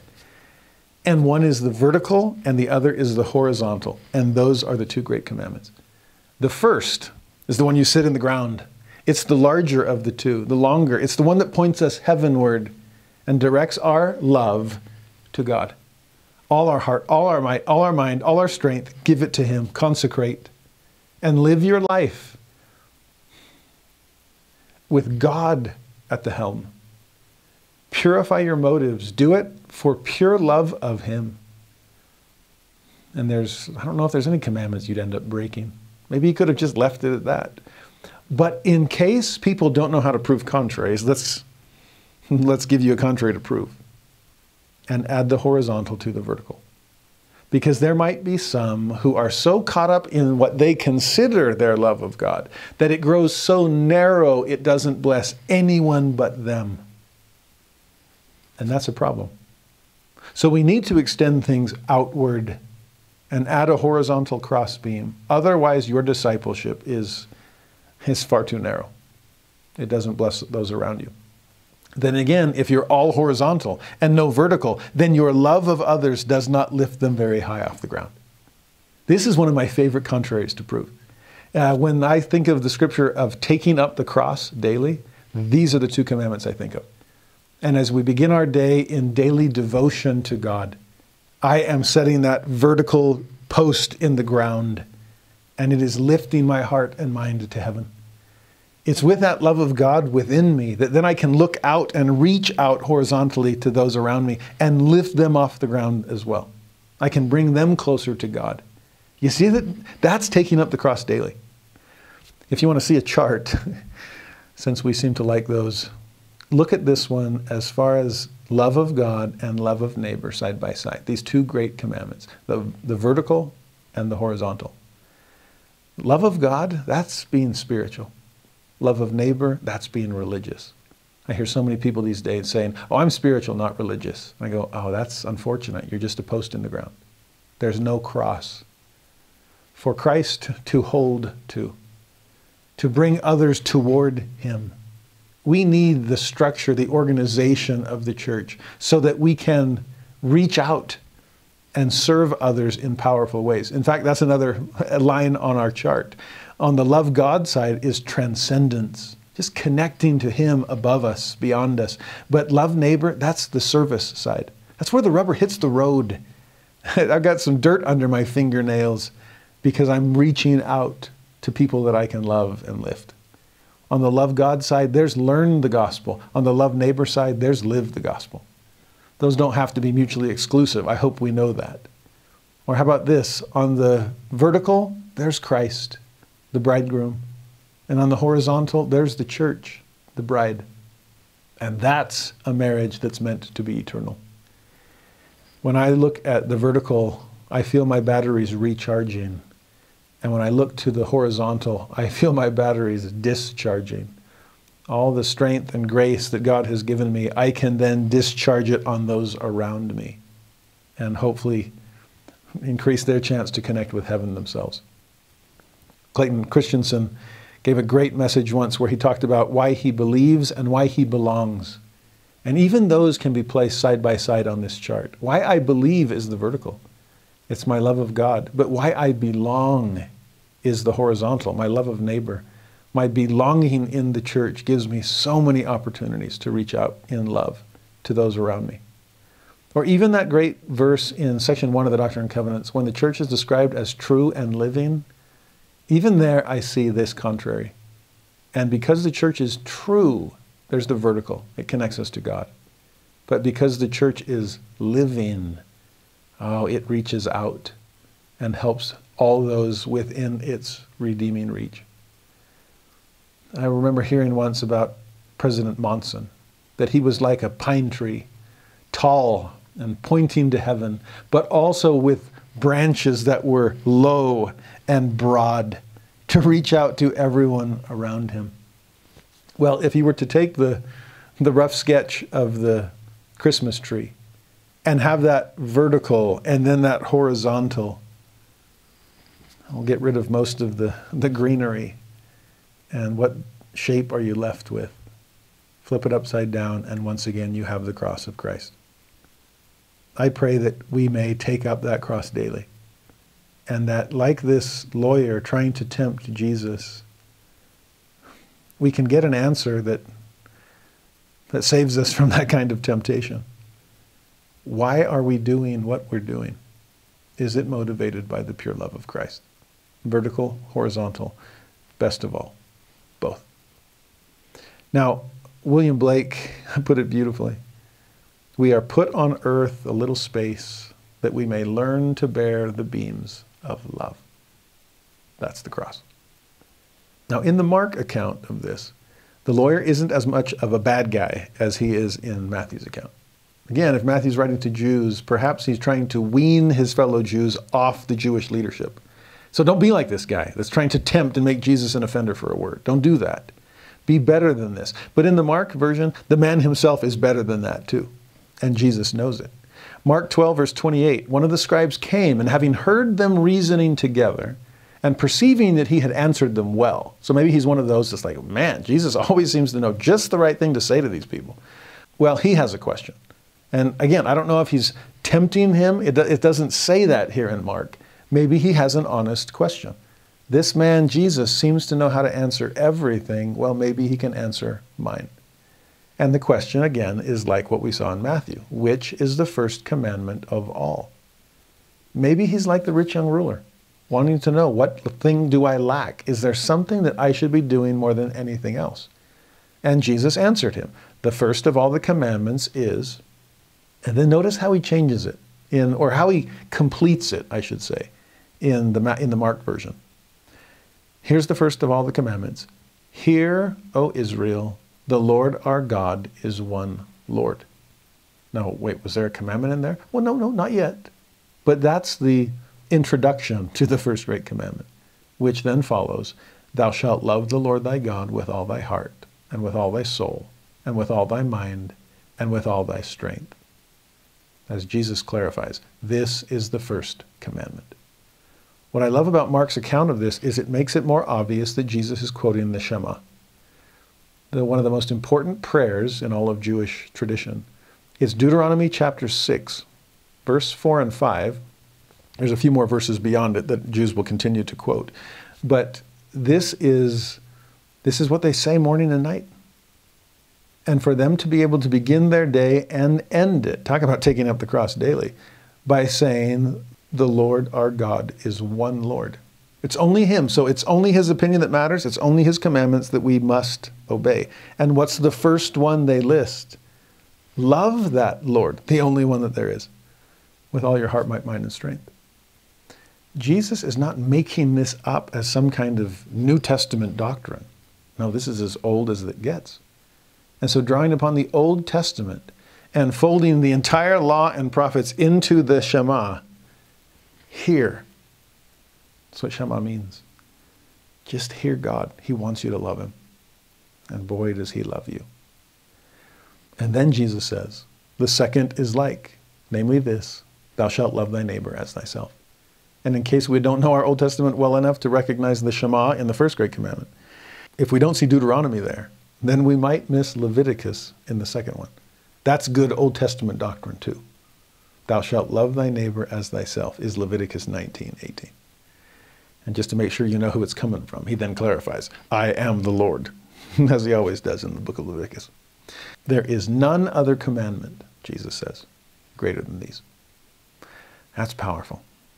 This is the Lord of the New Testament, who is also the God of the Old Testament. and he knows those words like the back of his hand. He inspired them in the first place. And how does this lawyer respond? In Matthew, we don't see. In Matthew, would jump straight back to the group that he was a part of, and they're all grumbling and like, ah, he got out, he got away from us again. How does he keep doing this? But in the mark, which is more gentle, the mark that allows for the possibility of this man being sincere and honest in his seeking, I do love his immediate response. Mark 12, verse 32. The scribe said unto him, Well, master. And maybe he meant it that time. Well, master, thou hast said the truth. For there is one God, and there is none other but he. And to love him with all the heart, and with all the understanding, and with all the soul, and with all the strength. By the way, I love that he doesn't say might, he uses understanding. This is your, your knowledge, your wisdom. Do you get it? Are you following him with eyes wide open, heart wide open? Do you understand what you're doing instead of just kind of rote memorization, falling lockstep into lying? No. Do you love him with your understanding? And to love his neighbor as himself, he goes on, is more than all whole burnt offerings and sacrifices. And that's amazing that this scribe would say that. A scribe elevating an attribute over an action, that's unheard of. For him to emphasize the inward even more than the outward. I mean, we're used to seeing Jesus do that. He's the one that always quoted Hosea that more important than your sacrifices would be mercy. Why don't you try that for a while? And this scribe oh, was cut from similar cloth. Oh, Jesus, you're right. Good point. He's either been con- completely converted through the Lord's incredible answer Maybe he started trying to tempt Jesus, and by the end, he's like, wow, okay, I was in the wrong, and you're in the right. You have well said. Or maybe he was sincere from the start, and now he's just even more convinced by the end. I've always thought that. And yet here I am surrounded by others, other experts in the law, other lawyers, other Pharisees that are sticklers on every jot and tittle, and I always I mean, they're so convincing. I, I've kind of started going that way, but down deep, I've always worried are we getting caught up in the thick of thin things? Are we focusing so much on outward actions that we've missed the point of inner attributes? Jesus, your comment comes like a breath of fresh air, the wind of the Spirit blowing to push away the fog. Thank you for that. And then Jesus, I love this. When Jesus saw that he answered discreetly, and other translations say wisely or prudently, the Greek literally means in a mind having way. That's such, such a great phrase. When Jesus saw that he answered in a mind having way, it's like you do focus on understanding, don't you? You really get it, don't you? Then Jesus said unto him, Thou art not far from the kingdom of God. Like, oh, you are so close. That's why this man reminds me of the rich young ruler so much. One thing thou lackest. You are not far from the kingdom of God. In fact, oh, its king is standing right in front, in front of you. You want to join? Want to follow me? Well, from that point, no man after that durst ask him any question. And that really is the end of their interrogations uh, depending on who you're asking, they stop asking their questions at different points. Some gave up a little earlier. Some, well, let's try this other one. This, this one will probably going to get them. The Pharisees had their best shot. The Sadducees had their best shot. This lawyer comes out thinking, well, maybe this will get him. Or maybe this is something I really want to know. But by now, after the three parables of those who lost out, and after the three questions that Jesus could not be tripped up with. It's, it's, time, it's time to change tactics as far as his enemies are concerned. And we're going to go from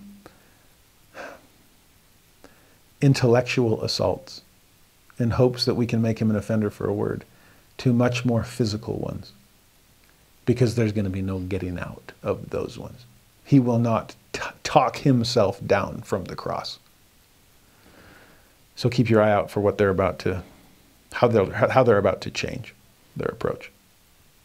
But before they leave, one other thing. This is Matthew 22, 41. When the Pharisees were gathered together, Mark says that all of this is still happening at the temple, by the way. So sacred precincts, despite some not so sacred conversations. While they were gathered together, Jesus asked them, saying, and what a question. It's going to trip them up like he asked about the John the Baptist authority before. But the way he phrases it from the start is such a beautiful, profound question on a more broader scale. It's five words. What think ye of Christ? So much of our response to his teachings will boil down to how we answer that five word question. What do we think of Jesus? What think we of Christ? Now, Jesus had a more specific thought in mind. This is where he's turning the tables on them and asking them to ask to answer a question that they couldn't. He could, the two can play that game, right? We already saw that. But when he asks, What think ye of Christ? he then follows up with another question Whose son is he? Now he knows his Jewish audience is going to have a clear answer, and he gets the one that he expects. They say unto him, The son of David. Well done. Yes, you know your Old Testament. You know your Matthew chapter 1, verse 1. The Messiah will come as an heir to the Davidic throne. but then Jesus takes their answer and turns it right back on them. Verse 43 He saith unto them, Okay, good, well done. How then doth David in spirit call him Lord, saying, The Lord said unto my Lord, Sit thou on my right hand till I make thine enemies thy footstool? In Luke, he's even more specific. Uh, speaking to a Gentile audience, he's got to clarify himself. He says, David himself saith in the book of Psalms, and then he quotes that same text. It's Psalm 110, verse 1. And that's the question he's getting at. If David then call him Lord, how is he his son? If David's looking up to his Lord, and yet that Lord is the son of David, wouldn't he look down, forward, onward to him? How's that work? You see, Jesus has just pulled off the ultimate Old Testament based chicken and egg dilemma. Which one came first? The Lord or the Lord? If David is the Lord on the throne, but he's only there because the Lord allows him to be. But then the Lord, the Messiah, is going to come from the house of David. So who started this thing? Does the Lord come from David or does David come from the Lord? Oh, what say ye? What think ye of Christ? And just like with the John the Baptist question, they're speechless, they're waving white flags. They have nothing to say in response. In verse 46, no man was able to answer him a word. Neither durst any man from that day forth ask him any more questions. And then Mark adds this detail. And the common people heard him gladly, which I just laugh. at. It's like they're eating this up. They're loving this. And they're, they're, they're spectators and they're watching these verbal pyrotechnics and the scribes will come and they'll ask him, then like, oh how's he going to get out of that one?" And he gets out perfectly. Like, "Oh, whoa, that was amazing." Then the Sadducees come out like, "Well, what about this?" And they're like, oh that's a great question." And he's all, but really, what is the question? Let's go with that. And they're like, ooh, two for two. And then this guy comes, and which is the great commandment? And they're like, hmm, ooh, 613 to choose from. What's he going to pick? And he says, how about all of them, but boil down to these two? And they're like, this guy's amazing. And even the lawyer knows that. And then Jesus says, my turn. And asks that question. And the people are just, man, this guy's amazing. I wish people still had the guts to ask him those kinds of questions or that he would have, that he would want to keep pursuing that line of thought. And I mean, nobody's going to beat Jesus. And, and the people love him for it. I do too. Now, Mark 12 and Luke 20, which reflect what we've been studying this week in Matthew 21 and 22, then end with really short account of some chastisement that the Lord gives to the scribes and Pharisees. He's finally silenced them. And now that they're, if, if you'll just shut your mouth and hopefully keep your ears open, maybe I can get a word in edgewise. Maybe you've been humbled or humiliated, take your pick, to the point that you might be willing to, to listen to a few calls to repent. And so he gives them a few of those calls. In both Mark and Luke, it starts with the phrase, Beware of the scribes. Maybe they've already taken off and it's just other disciples, these people that loved that love him and are stoked to just to watch the conversations unfold. Maybe it's just them. And Jesus is warning them, beware of the scribes, those people that just hightailed it off the Temple Mount with tail between their legs. Mark then gives three verses to what they need to beware of, and Luke gives them only two. Matthew, meanwhile, unloads an entire chapter on them. Over 30 verses of things to beware as they beware the scribes. Figures, again, that Matthew would be the one to do it, since he is warning the Jews against their own types of thinking, their own approaches to stuff, their, their own leadership. He's a good husbandman, warning his fellow husbandmen, we got to be true to the householder. Okay? So Matthew 23 is where we see this, and it's in some ways a brutal chapter. It's the most scathing rebuke you're going to see from Jesus. Well, I guess there was the one in John where he's like, "Yeah, you're of I'm of my father, God. You're of your father, the devil." How's that? Well, Matthew 23 is going to be Matthew's version. It's the it's the biggest point in the synoptic gospels of Jesus giving a verbal tongue lashing. And speaking of lashing, he just cleansed the temple physically yesterday. Today he is cleansing the temple rhetorically and crying repentance by calling out the scribes and the Pharisees for the kinds of things that they are guilty of. And it's quite the list. He's going to start pretty broadly in chapter 23, verse 1 to 3. Then spake Jesus to the multitude and to his disciples, saying, The scribes and the Pharisees sit in Moses' seat. If this were the Book of Mormon, you could call it the judgment seat. But it's the same idea. It's called Moses' seat here because Moses was the great lawgiver. And who's taken his place by now? Well, if we're being literal, it would be Jesus, right? A prophet like unto Moses would someday come. Well, he's come, he's right there. But as far as the regular Jews are concerned, it's those scribes and Pharisees. They're the ones that are, are the modern Moses and sticklers for his law and interpreting everything about it and, and extending its parameters to, to increase the oral law that protects the written law. It's those scribes and Pharisees. They're the ones that are running the show. And notice what Jesus says about them. He starts in a fascinating way. He says, All therefore whatsoever they bid you observe, that observe and do. But do not ye after their works, for they say and do not. And with that, we're getting a nod toward the hypocrisy that he's going to call out much more specifically in just a moment. But I love that he's differentiating between what people say and what people do. These Pharisees may say a lot of good things. They're quoting scripture left and right.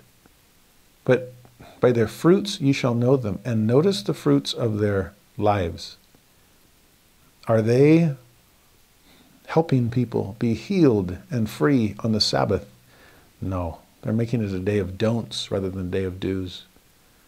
Are they lifting and helping and serving and saving? No, they're judging and condemning. So don't do what they do. Now, that part's easy. Don't follow the bad example of the Pharisees. But the first part is strange. What they say, what they bid you observe, yes, then you better observe and do. Now, wait a minute. Why would we do that? They have no authority. It's your authority. They, they're usurpers of Moses' seat. You are Moses 2.0. I know. But if I'm not here to overthrow Roman rule, I'm not here to overthrow Jewish rule either. That's, both of those are going to take care of themselves. The Romans will overthrow the Jews. And then later the Gentiles will overthrow the Romans. So they'll get what's coming. God can afford to be patient and play the long game. But in the meantime, my dear saints, you are living under other authorities. And Please don't take this too far. There will be times where you do have to decide God or mammon, Christ or Caesar. But in many things in the day to day of life, you do need to render unto Caesar what belongs to Caesar. And in this case, render unto the Pharisees what the Pharisees are demanding. If this is the Sanhedrin, then they do kind of run the day to day affairs. And someone like me can, yeah, push against them. I'm trying to fix the system, but the system is there. And unless you want to join me on the cross, then you might have to do the things that the Pharisees command of you. I think in some ways Jesus is differentiating between the person and the position, as we see in who's in Moses' seat. That's the bishop's office. That's the, the president. That's the Oval Office. That, that's the where the president sits. In this case, this is the lawgiver, and the Sanhedrin is your lawgiver, and so you better follow what they say. Don't do what they do, but keep the rules. Keep their commandments, and if those commandments need to change, as I've been trying to change them, then try to work within the system. Try to be patient until I come to right every wrong. I, I had an email a while ago from an old student of mine. Amazing young man as a teenager, and he's just been getting better and better ever since. He's now a high school teacher himself, which I just love because he was such a good high school student. He, he gets them. And he asked me about this verse. I haven't had time to respond to him, sorry, so this is my chance. But he brought up a fascinating thought about this passage. And again, it boils down to difference between person and position. And if the position is there, we have to we have to honor the position, don't we? And again, to there's a, a limit to that. Uh, if it gets to a point where you, there has to be conscious, conscientious objection, then then so be it. D&C 134 would even allow for that. A great revelation on how the church works with the state, even though keeping them separate. But this great old student of mine was saying, I wonder if this would be helpful for people that are struggling in their faith, that wonder about oh, policies that are coming down from Moses' seat in our day, or statements that were made by past prophets that have left people scratching their heads and wondering. And what he suggested, which I thought was very wise, was recognizing that even Jesus here, though not in support of the person, is in support of the position. There's a reason that Moses' seat exists. Someday it will be Jesus himself sitting there. Until then, we're left with mere mortals that hopefully are doing the best that they can. But their own humanity may sometimes get in the way. The Lord, like I said, has his way of fixing things. Whether that's sending the Roman legion in 70 AD to uh, remove this Jewish leadership, whether it's a revelation being sent to Spencer W. Kimball in 1978, extending the reach of the priesthood and its blessings our patience and faith is what we're all called upon to exhibit whenever a mere mortal is occupying Moses' seat. I will support the president even if I don't agree with him. I will keep the laws even though even if my candidate isn't in the Congress. I will follow policy and doctrine as explained by prophets, seers, and revelators. And again, in our day, I'm, I'm so grateful for who occupies Moses' seat. The Lord has created, or government has created checks and balances to help us navigate that Moses seat, Caesar's seat. But there's even checks and balances in the kingdom of God because there are presiding councils and a call on the Lord's part, this is D&C 107, to make their decisions in perfect unanimity. Many of the tricky parts of church history came before the first presidency and the Quorum of the Twelve completely wrapped their hearts and minds around the call for unanimity. I would love to see Brigham Young and Orson Pratt locked together in a room and told you're not allowed to come out until you completely agree with one another. That's going to take a while. But I think the history of the church would have been different uh, I, I'm trying to be careful here, and, and I hope you understand where my heart is in absolute loyalty to those in Moses' seat in the Church of Jesus Christ of Latter-day Saints. I'm so grateful for prophets, seers, and revelators. I'm glad that they're sitting there and I'm not. My seat is much more comfortable than those big red ones. But to see in all patience and faith, as section 21 tells us, that is going to require honoring those in the seat of Moses. and trusting that they're doing the best they can and trusting that the Lord is there to lead them. Thank you, my good friend, for bringing that verse to my attention. I do think it's something powerful. I think it can help us navigate things from the past or from the present.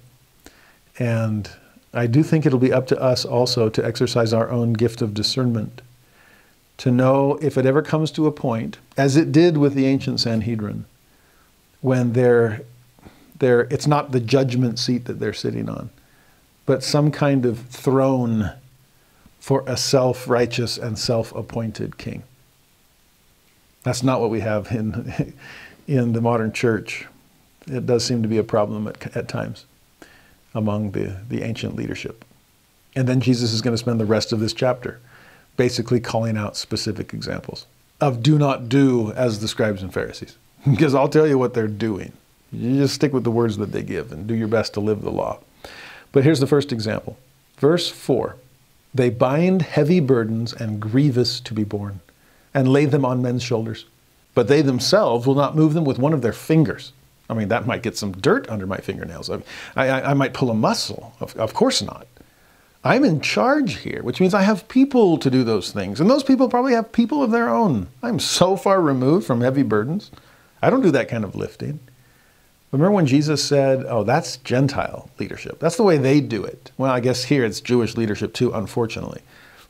But that's not how Jesus came. He came to be a true servant leader and he that would be chief among you, let him be servant of all. Let him do the heavy lifting. The scribes and Pharisees weren't that way. Or how about verse 5 through 7? But all their works they do for to be seen of men. And then he gives a bunch of examples. They make broad their phylacteries and enlarge the borders of their garments. They love the uppermost rooms at feasts and the chief seats in the synagogues, and greetings in the markets to be called of men, Rabbi, Rabbi. Oh, it's music to their ears. Now, Jesus just summarized a lot of the things that he'd said earlier in the Sermon on the Mount. Are you praying on the street corner to be seen of man? Well, your leaders are. Are you disfiguring your face so people see how pious you are? Well, they are. Oh, even these phylacteries, these tefillin, these boxes with little prayers on tiny little scrolls that they would put in there and then wear on their foreheads. Keep it on your mind at all times or on their arm to keep it close to the heart.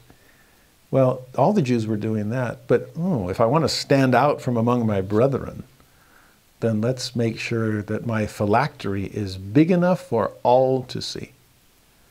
I mean, you may have written a little bit of God's word on there to keep on the mind and the heart. Well, I could practically fit the whole Old Testament. Wow, you must be holier than all of us. Or the fringe of their, the border of their garment, those fringes, those tassels that reminded them of their Jewish identity. Well, I'm a Jew's Jew. I'm, I'm bigger and better than the rest. And so let's make this as visible as we can get. Uh, the uppermost room, again, we're back to that best seat in the house. And don't automatically assume it's for you there's probably somebody better waiting in the wings. But it's that last one that I, that I love the most. Rabbi, Rabbi. And what do people call you? Honestly, it's one of the things that rubs me the wrong way. Now that I finally have my PhD, I can't stand it when people call me Dr. Halverson. It sounds so, I don't know. I mean, if that's your title, I, I know it, you paid a price. It takes a ton of work to get there. Believe me, I get it. It took me forever. But so I mean, it's not a problem if that's what you go by, and, and people will use that honorific. But to demand it, I don't know. To just it, ah. I was in a in a class recently. I was guest lecturing, and they're like, uh, "And now we have Dr. Halverson. Is that is that what you'd like to be called?" And I just laughed and all, "No way! It's just Bro Hal. That's me. Just Bro Hal." And the students kind of giggled, like, "Is he serious?" I'm like, yeah, just Bro Hal. Jared seems a little too uh, close for a teacher student relationship, but Dr. Halverson sounds way too far. So, Brother Halverson is just fine. Or Bro Hal for short does me just fine.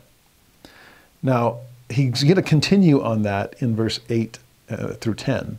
He says, But be not ye called rabbi, for one is your master, even Christ, and all ye are brethren. So there's equality between us mere mortals. We're all infinitely beneath him which puts all of us on the exact same level, relatively speaking. He says, Call no man your father upon the earth. Sorry, Dad. no, you can do that one. But for one is your Father, capital F, which is in heaven. Another example, neither be ye called masters. I'm so tired of you guys calling me master uh, hypocritically and insincerely. So don't call each other masters. For one is your master, even Christ. And the irony there is, even Christ himself wasn't demanding to be called rabbi or master or father or anything else. Instead, what did he spend his time doing? Anytime anybody did say anything good about him, oh, why call ye me good? There's only one good, and that's the Father. I only do those things I've seen him do. So, Father, all the glory be thine. I'm not trying to take any mortal spotlights, even though I happen to be the light of the world. I guess if he's the light of the world, a spotlight on him wouldn't do any good anyway, right? But he's glorifying his Father in, in heaven, as should we. My uncle Mike once said, and I love this one, that when you're being introduced as a speaker somewhere, he said it makes him uncomfortable to have these long, drawn out introductions. And the way he puts it is, it only took seven words for the Father to introduce the Son. This is my beloved Son, hear him. That's it. So anything more than seven words for a mere mortal seems like overkill. then again, Jesus needed no introduction, but got one. The rest of us, why would anybody care to listen to us? maybe some introduction is needed, but not the kind of mortal praise that people seem to, to fawn over. Next one, verse 11 and 12. But he that is greatest among you shall be your servant. Now we're back to that servant leadership that Jesus exemplified. And whosoever shall exalt himself shall be abased, and he that shall humble himself shall be exalted. Back to the role reversal we've come to expect in Christ's teachings. Verse 13, but woe unto you scribes and Pharisees, hypocrites. Exclamation point. Get used to that because he's going to start so many of these calls to repent with that exact phrase. The woes here, I think there's eight of them, go along, in some ways, they're the opposite of the Beatitudes way back at the Sermon on the Mount. As Jesus is beginning his ministry, blessed are ye of this, and blessed that, and blessed this. And here at the end, it's woe unto you if this, and woe unto you for that. Well, do you want to be the blesseds of the Beatitudes or do you want to be the woes of the hypocrites in Matthew 23? Choice is ours. But here's the first one that we get Woe unto you, scribes and Pharisees, hypocrites, for ye shut up the kingdom of heaven against men. For ye neither go in yourselves, neither suffer ye them that are entering to go in. In other words, it's bad enough that you're not living worthy of the kingdom, but to keep other people from coming in, oh, that's just beneath you, even you. Not only are you so far from perfection, that's why I told the people don't do what you do, but you make living the gospel so burdensome. There's the heavy burdens. Talk about my yoke is easy, my burden is light. Yours is crushing. It's there's no way anybody can live up to it. So no wonder they feel perpetually unworthy and unloved. No, no wonder they don't think that anyone's invited into the kingdom. Whatever, I'll take the lame and the blind and the maimed and the halt. Come to the wedding feast. I want to celebrate with you. I'll bring the publicans and the sinners and the harlots and everyone that's willing to heed my call to come. But you Pharisees make obedience seem so unreachable then why do people even try at all? You're either forcing them into the same level of hypocrisy that you are guilty of, or if it's not hypocrisy, then it's hopelessness. And then they'll just give up. We cannot allow ourselves to follow that bad example. We need to reverse both of them. Live in such a way that we can enter the kingdom of God through the grace of Christ, but also teach the gospel with enough hopefulness enough mercy and grace that everyone else knows that they can come to. And once they know, they'll come running. How about verse 14 and 15? Woe unto you, scribes and Pharisees, hypocrites, for ye devour widows' houses, and for a pretense make long prayer. Therefore ye shall receive the greater damnation. We've seen already how Jesus feels about widows. raising the son of the widow of Nain, for example, helping those that are struggling, the society's lowest levels. And yet these Jewish leaders are devouring widows' houses. A little bit later, we'll do it next week, we'll see Jesus compare poor widows to rich Pharisees. And it's the Pharisees that come out looking, looking bad. A pretense, long prayer, just drag it out, drone onward and onward. Well, I guess if you're just praying to yourself, like the Pharisee in the parable, then you know you love listening to yourself. You can go do this all day. Or another one, woe unto you, scribes and Pharisees, hypocrites, for ye compass sea and land to make one proselyte. And when he is made, ye make him twofold more the child of hell than yourselves. Ooh, that's strong language. Make one proselyte, a convert to Judaism, but to the Pharisaic branch of it. Let's make you sticklers just like we are. Well, you've left them worse, not better. You do everything in your power to convince them. Compass, sea, and land, you go everywhere. That's, that's a diligent missionary if I've ever, ever seen one. But their conversion is more like a deconversion because coming unto you is the opposite of coming unto Christ. You're leading them in the wrong direction. I would hate for anyone to follow me if by doing so they're alienating themselves from God. I, I, want to move people in a better direction, not a worse one. But the Pharisees were guilty of moving them in, in the worst way. He then says in verse 16, Woe unto you, ye blind guides. And this is going to be the blind leading the blind. Or maybe even worse, the blind forcing the sighted to follow them. You blind guides, you have no idea where you're going. And then this is the example that he uses. You blind guides which say, Whosoever shall swear by the temple, ah, it's nothing. But whosoever shall swear by the gold of the temple, oh, he's a debtor. Ye fools and blind, for whether is greater, the gold or the temple that sanctifieth the gold? Think about that. Can you be wise minded there? Or how about this example? That you say, Whosoever shall swear by the altar, ah, that is nothing. Oh, but whosoever sweareth by the gift that is upon it, he is guilty. Again, ye fools and blind, for whether is greater, the gift or the altar that sanctifieth the gift? You see, these Pharisees are focusing on the trees, but they're totally missing the forest. Like I said before, getting caught up in the thick of thin things. What do you swear by? Cross my heart, hope to die, stick a needle in my eye. Oh, I'd, I'd bet. What, what would you bet on it?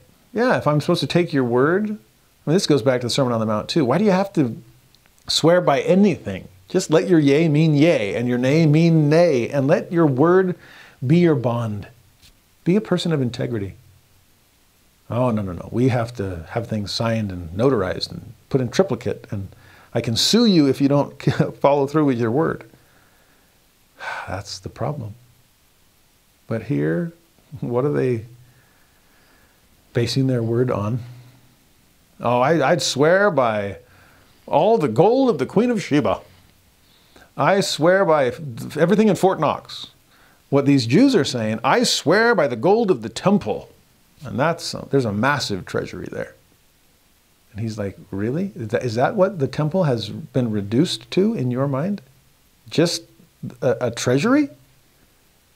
It's the temple itself that matters. And he who rules and reigns there. Man, there's more cleaning up to do than I realized. I swear by all the sacrifice that is placed upon the altar. It's not the sacrifice that matters, it's the altar and Him who sanctifies it. You guys really don't get it, do you? You don't even know. You, you have the temple. Yes, you're trusting in lying words. You have the temple, but you take it for granted you think it's just a place to store the money and to to oh sacrifice a, a, token sheep now and then is really that that's all it is to you do you not see god behind it all because it's the temple that matters it's the altar that matters it's your own worthiness own obedience and sacrifice it's your integrity it's clean hands and a pure heart they're the ones that ascend into the hill of the lord so, so swear by that. Swear by your relationship with God that if I'm not being true, then I will sever my relationship with Him. Well, that's exactly what not being true does. That's spiritual death. And unfortunately, you're already guilty of it. He adds to that in verse 20 through 22 Whosoever therefore shall swear by the altar, sweareth by it and by all things thereon. And whoso shall swear by the temple, sweareth by it and by him that dwelleth therein. And he that shall swear by heaven, sweareth by the throne of God and by him that sitteth thereon. Do you not see the big picture? Don't be so myopic. Don't you know? Don't you recognize that it's God behind it all? And it's His all seeing eye, His perfect judgment and justice that will weigh you in the balance and see if you're found wanting. Take this stuff seriously because it's serious. In verse 23, then one of the best of, of them all in this chapter. Woe unto you, scribes and Pharisees, hypocrites, for ye pay tithe of mint and anise and cumin, and have omitted the weightier matters of the law judgment, mercy, and faith. These ought ye to have done, and not to leave the other undone. That's a fascinating passage. What he's seeing, again, they're so focused on the tiny, tiny things that don't matter as much as the big things. You are making sure your 10% comes in from your mint your anise, your cumin. I mean, it's one thing to count up the, the leaves of mint and then take the 10%, but cumin? How are you going to do that? Oh, no, we want to make sure every little particle comes the, the Lord's way. Well, is it the Lord's way or is it your way? Is it, is it the temple or the temple treasury? The altar or the sacrifices thereon? No, you've reduced discipleship down to those kinds of pennies. And what have you neglected, omitted in the, in the, in the meantime? The weightier matters. And the weightier matters he lists are these divine attributes. No wonder he loves Hosea, that I would have mercy, not sacrifice. I would have judgment and mercy and faith. I don't care about your mint and your anise and your cumin. Well, actually, I do a little, but only a little. You see, here's the interesting thing. He's Jesus, a master of proving contraries as always. He's correcting without overcorrecting, and that's our problem. Usually, usually when we correct, we overcorrect. And if I was doing something wrong in one direction, then I fix it by doing something wrong in the opposite direction. And it's like, oh, we, we weren't supposed to be tithing mint and anise and cumin. Okay, we're supposed to only work on judgment and mercy and faith. Okay, great, we'll do that. Forget the letter of the law. We're just supposed to be working on the spirit of the law, right? He's like, no, no, no, work on both. Can, can you not do both? Can you hold them together in an act of tension? Because I love the way he ends it. These, these big things, these weighty things, divine Christ like attributes, you've got to do those. You ought to have done them. But you shouldn't leave the other things undone. That's really beautiful. When he says to be more like Mary. He's not saying to be less like Martha. No, it's got to be time specific, situation specific. And there's times where you're going to have to turn have to turn a blind eye on the mint because you're focused on mercy. But there's times that someone needs to know that an honest tithe, even on your cumin, is part of your covenant with Christ. It's amazing that Jesus is trying to honor both the big and the small. See the forest and the trees. Don't lose sight of either, either side of it. Well, losing sight is the problem they've already fallen to. Verse 24, ye blind guides. And then another very famous description of their blindness, which strain at a gnat and swallow a camel. I mean, a picture, this would be a fun one to act out if you had a big enough bowl. Uh, it's one thing to have a cup and have a little gnat in it. And it's just there on the top, just kind of floating. You're like, yeah, I don't want to. on my mission, this would happen all the time. I'd be dying out there, and I'd ask for a cup, a glass of water, and they'd give it to me. But there'd be like, I don't know if the thing wasn't washed well, or there were some floaties. And I learned I, I couldn't deny it because they knew how desperately I'd wanted the water. I'd asked, and they were kind enough to give. Uh, but I put it to my lips, and I learned that if you exhale slowly through your nose, it blows the floaties to the other side of the cup. And that's why you got to do it slow, or you'll add floaties of your own. But then you can drink and just sip in, breathe out, sip in, breathe out, and the water comes forward and the floaties float away. Genius. Well, imagine doing that with a gnat. And you're just, oh, I can't do that. Let's strain it out. Let's make sure there's no tiny impurity there. No an, mint or anise or cumin that's been misplaced. Because especially if you're living the kosher laws as a good practicing Jew, especially an ultra practicing ultra Jew like a scribe or Pharisee, then we couldn't be caught with some unclean animal within us. It's against the word of wisdom. Okay, so uh, I don't I don't want even a, a particle, a speck. Let's get rid of the gnats. Okay, that's fine, but the irony is, what I don't know what the bigger problem is. Actually, I do. It's one thing to be overzealous.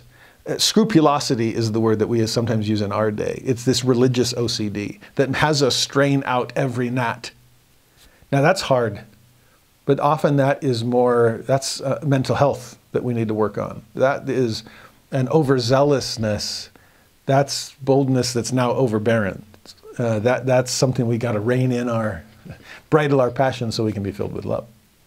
But the opposite side, to swallow a camel, Camels are listed specifically in the book of Leviticus as a no no for the law of Moses.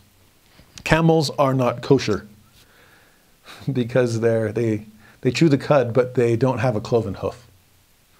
So you can't eat those. And the irony there on the list, I think that camels are the largest unclean animal in that part of the world. The biggest one that any of, Jew, of Jesus' listeners would be aware of. And for Jesus, again, this is why I would love the object lesson if we had a big enough bowl. Picture somebody with a glass of water that just has one little speck at the top, just a gnat. But then someone else has a bowl and there's like a camel floating around in it. I mean, talk about a floaty. no amount of gentle exhaling will, will get it to the other side of the cup. And this one, oh, I wouldn't touch that without a good solid strainer. But this one will glug, glug, glug, and you end up choking the whole thing down. This one, uh, there seems to be almost humor. Is Jesus being comical here? Because the, the word picture he's painting, you'd choke on. And yet the Pharisees and scribes, they gulped the whole thing down. Guilty of such major transgressions when they are trying to make sure that no Jew on their watch will be guilty of the slightest indiscretion. We need to be careful about that too. And again, I'm not saying, oh, bottoms up for your glass full of gnats. Those can add up and cause some problems too. Uh, but beware the weightier sins. Do both. Okay? Strain everything. Oh, verse 25 and 26. Woe unto you, scribes and Pharisees, hypocrites, for ye make clean the outside of the cup and of the platter, but within they are full of extortion and excess. Thou blind Pharisee, cleanse first that which is within the cup and platter. Then the outside of them may be clean also. This goes back to the inward versus the outward.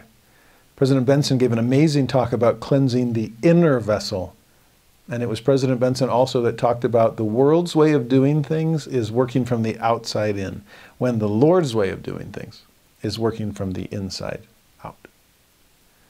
If we start from the outside in, we might end before we're done. Because look how good it looks, at least to people that are walking by. And isn't our facade sufficient? Looks good. Look at all these leaves. Don't come any closer. Well, just assume there's fruit in here.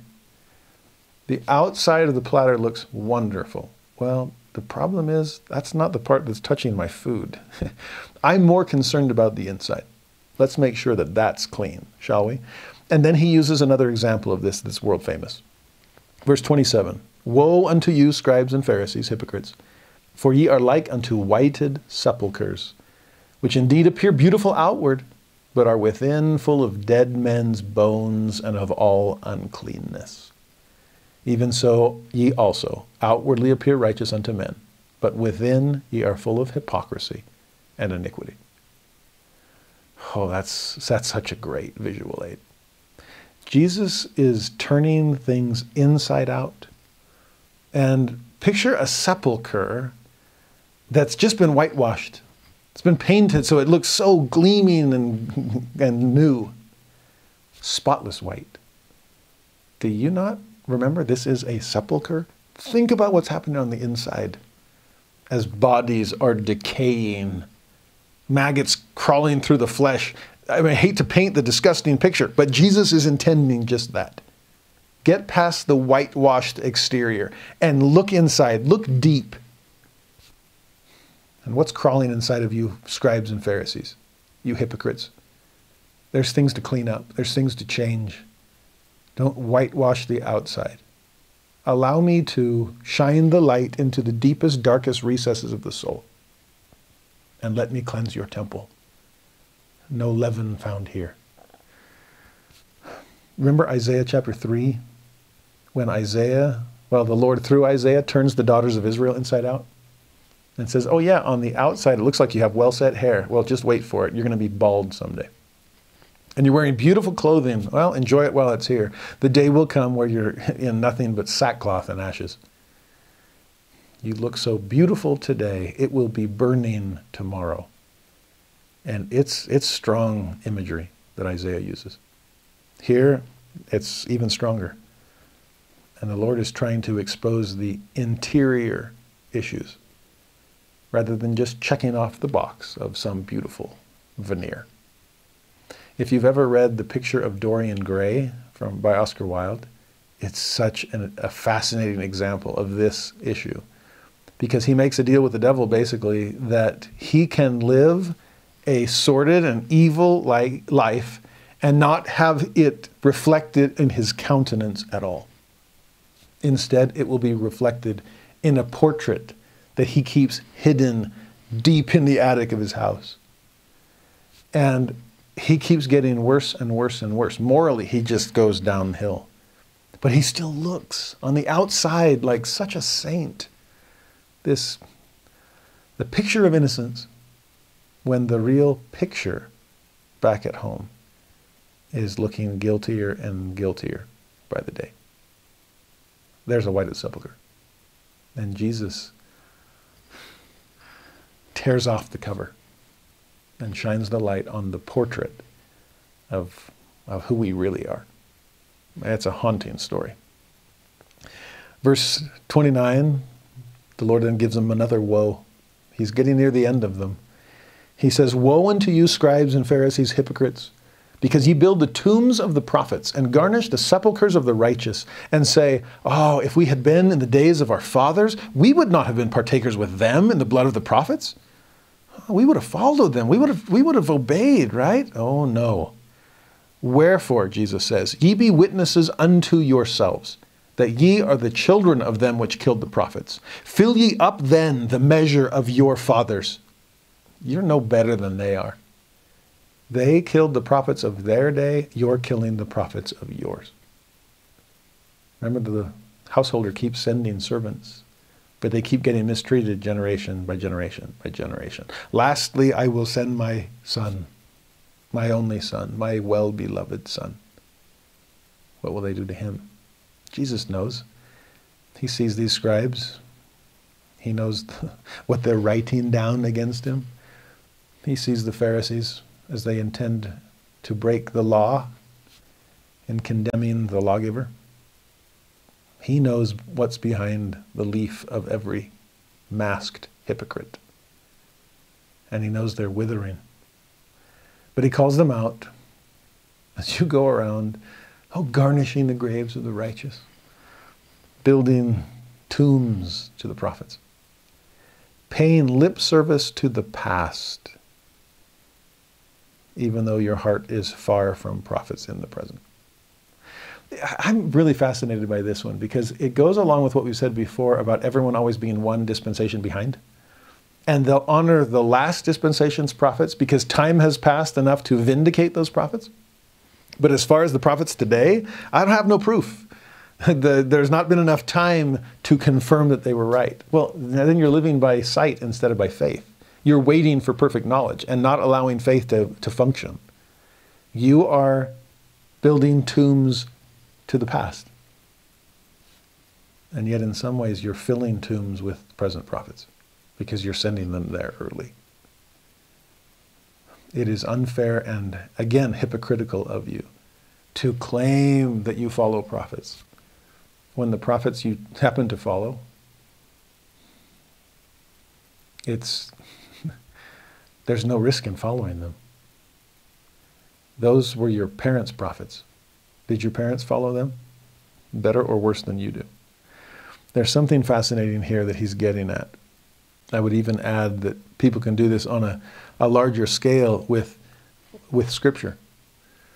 And there are those that oh, build memorials to the Bible, but are not willing to give the Book of Mormon the time of day. That, and maybe even in the church, that would honor Joseph Smith, but not any of his successors. Or at some point, it's like, no, that's when it all went, went south. That's when it fell apart. And I'm a, a believer up until this point, but no further. Again, even those Bible believing Christians has the Bible become a tomb of the prophets? I know it's a tome, it's huge, but is it meant to be a tomb? No. It's meant to preserve past prophets, but also prepare us to receive present prophets. How are we doing with that? Next, verse 33 Ye serpents, ye generation of vipers, how can ye escape the damnation of hell? How's that for strong language? But unfortunately, as Jesus has come to see, nothing short of that is going to make a difference. Enos talked about the same thing and his struggle of, I just don't want to use words like this, but they won't listen to me otherwise. Mormons say the same, said the same thing at the end of the Book of Mormon. If I'm soft, they don't take it seriously. If I'm hard, they get offended by it. It's darned if you do, darned if you don't. And there's no Goldilocks zone here for, the, uh, for a preacher of righteousness in a day of wickedness. It's interesting because three years ago, John the Baptist said almost the same thing. Ye generation of vipers, who hath warned you to flee the wrath to come? Well, the wrath is coming closer and closer. And here Jesus says it again ye generation of vipers. There are still serpents in Eden, and yet the gardener of both Eden and Gethsemane is ready to cast them all out. Will they change? In verse 34 and 35, Wherefore, behold, I send unto you prophets and wise men and scribes Hmm, even scribes are sometimes a gift from God. Yeah, some experts in the law really are righteous. And some of them ye shall kill and crucify. Now, that's the state, crucifixion, that is, since only the Romans could impose capital punishment. But Jesus goes on, some of them shall ye scourge in your synagogues. Ooh, synagogues, that's the church. So we got political opposition, we have religious opposition, it's all coming your way. He says they persecute them from city to city that upon you may come all the righteous blood shed upon the earth, from the blood of righteous Abel unto the blood of Zacharias, son of Barachias, whom ye slew between the temple and the altar. Now, how's that for the sum total of every martyr's blood?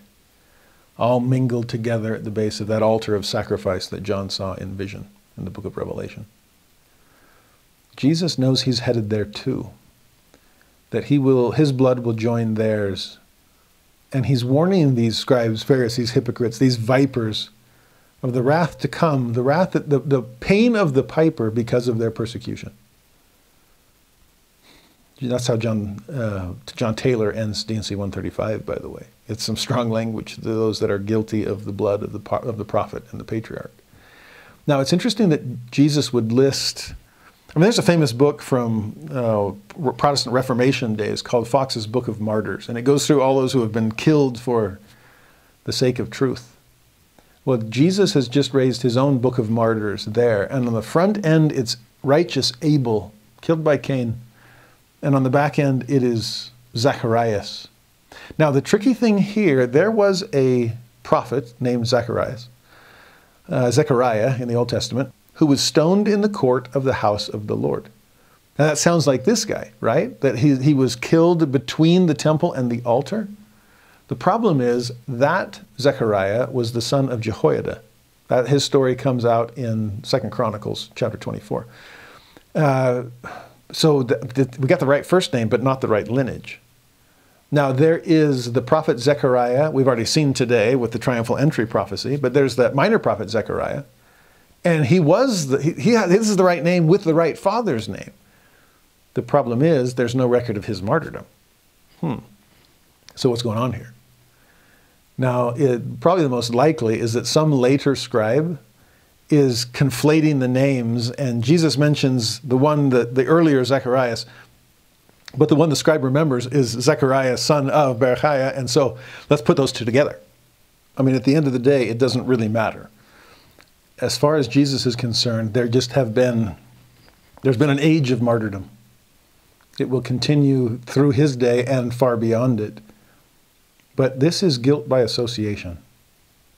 And just like I will be associating my blood with the martyr's blood, you will be associating your guilt with the guilt of those who killed those who went before. I mean, to a Jewish ear, this would have been haunting because there's, there were some legends that grew up around the death of, of Zechariah, son of Jehoiada, that his blood never dried. It was just still there, kind of bubbling up from the earth, standing as a haunting witness as he demanded, his own blood demanding divine retribution to set the wrongs right. Well, is Jesus hinting at those kinds of things and warning these scribes, Pharisees, hypocrites of what they would face if they did not repent? Jesus then concludes it all in verse 36, where he says, Verily I say unto you, all these things shall come upon this generation. More blood than you could possibly imagine when the Romans come to destroy it all. It's in that moment that in Matthew 23 we see him weeping over Jerusalem. In Luke, he does it a little earlier, as I mentioned. And we're not going to take the time to study it today because we've spent too much time as it is. And to me, it's a beautiful introduction to what we'll study next week with the Olivet Discourse. Uh, to couch the signs of the times amidst Jesus' tears, I think is important. So we'll hold off till then. But uh, to this point, we're going to stop the synoptics. We're going to turn to John chapter 12, but just take a moment and reflect on what Jesus just did. Because it's strong. And in some ways seems a little out of his character. Well, it doesn't. It's so just, but he's motivated by mercy. He's trying to give them one last chance to change. And if I can wake you up and help you feel some godly sorrow, then it can work within you and you'll change. Even a viper can shed its skin and come out different. And I pray that you will. I weep that you will. And weep that you probably won't. It's there that we shift to John 12. That didn't talk about a lot of the things we've already studied today. In 12, he, we see the, the anointing of Jesus. We'll study that later in the synoptics and bring him in to, to round out the story. But what we do see here in John 12 is, is the last discourse he'll give the people in Jerusalem. The Olivet Discourse comes next week, uh, tomorrow, or tonight, I should say, if, if we're still in Holy Week and this is still Tuesday uh, where Jesus then leaves Jerusalem, begins to weep over it, and then describes the signs of the times of its destruction and the destruction at the end of the world. That's what we'll study next week. It's so important. Second coming prep next week, and it's, it's incredible. But in the John version, since he doesn't talk about that, John leaves that to the synoptics. John does situate us still in Jerusalem where Jesus teaches the people publicly one last time. We start in chapter 12, verse 20, and think as we study this chapter about John's high Christology. His audience already knows the stories of Jesus. But do you know how glorious this Son of God really is? Have you been too caught up in his humanity and lost sight, at least a little, of his divinity? Well, look for divinity here. Verse 20 There were certain Greeks among them that came up to worship at the feast. Remember the way that we saw all, who's coming, the people coming down from, from Galilee, uh, the multitudes that are curious, onlookers, spectators, rubberneckers, wanting to see Lazarus, wanting to see Jesus. They've all come. That's part of the triumphal entry as they're shouting Hosanna. But there were also among them these Greeks that had come to worship at the feast. Now, the feast is Passover. These Greeks are most likely Greek speaking Jews from somewhere else throughout the diaspora, somewhere in the Hellenized Roman world, speaking Greek but coming to Jerusalem because they're good, solid, practicing Jews that want to worship at the pilgrimage feast. The other possibility is that maybe they really were Greeks by birth and that they're Gentiles, but they're converts to Judaism. I mean, if Pharisees will go and compass sea and land to make one proselyte, well, other Jews are supposed to be sharing the gospel too. Well, maybe they joined Judaism as a result, these Greeks did. Either way, it says that they, the same came therefore to Philip, which was of Bethsaida of Galilee, and desired him. Now, pause right there. I know there's a comma, and then the verse goes on, but I want to put a period there and just stop and think how Philip would feel if the verse really did end there. Now, Philip is actually a Greek name, it means horse. And I wonder if these Greek, these Greek speaking Jews or these Greek converts, if they were drawn to Philip among the 12 because of his name. Was there some sense? It's like the German saints love Elder Uchtdorf and the Brazilian saints love Elder Soares, and we all love them both, and, and we should. But I can see why some people feel a greater connection to specific apostles. And that might be the case here. But again, if we stopped it there and said, oh, they came desiring Philip, well, imagine how Philip's feeling. It's like, well, I mean, of course they desire me. I am an apostle after all. I mean, for the last three years, I've been doing incredible things. So no wonder they desire me. Well, don't go so fast. Don't get ahead of yourself, Philip. I don't think he did, by the way. It's not a period, it's just a comma, which lets you know there's something more to come. And what is it? Let's read the whole verse. The same came therefore to Philip, which, is, which was of Bethsaida of Galilee, and desired him, comma, saying, Sir, we would see Jesus. And Philip cometh and telleth Andrew, and again Andrew and Philip tell Jesus. And then he can take it from there. What I love about that comma and the comment that followed it now, doesn't it put Philip and his so called popularity into perspective? The only reason they wanted him is because they knew that he could bring them to Jesus. It's Jesus that we really desire. We only desire you to point us in Christ's direction. This to me is one of the most powerful cautions to teachers or leaders in the church that seem to be popular. Because the only reason people want to listen to those kinds of people is in hopes that those people can bring them to Christ. I'm grateful for this verse. It comes to mind when people try to give me praise, well meaning such so kind on their part. I've learned that it's kind of false humility just to say, "Oh no, no, no, no." But it's true humility to accept the praise for what it is and pass it on to him who truly deserves it, like Jesus always did with the Father. And it's it's wise and humble and honest of us to realize that it never was about us. It was always about Jesus. I'm grateful for those who want to come and spend this much time with me in Scripture. But believe me, I don't fool myself into thinking you've come for me. I know you're desiring Jesus. And I pray that I'm showing him to you. Let me go run and find Andrew. Andrew always seems to know where Jesus is.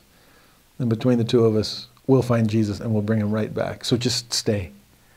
I know you don't want me, you want him. Well, he comes. And what does he say to them and to everyone else? This is where the story picks up. And Jesus gives this final Johannine discourse. Verse 23. Jesus answered them. And how's this for high Christology? The hour is come that the Son of Man should be glorified. My humanity, Son of Man, is about to be swallowed up in divinity. There's glorified.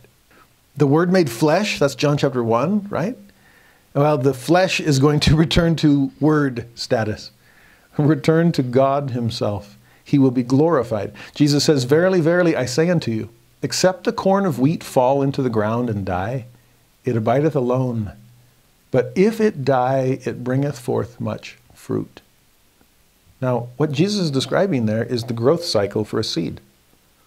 A seed doesn't die. That's strange language. A seed grows, it, it springs into real life, it, it meets its potential, fills the measure of its creation.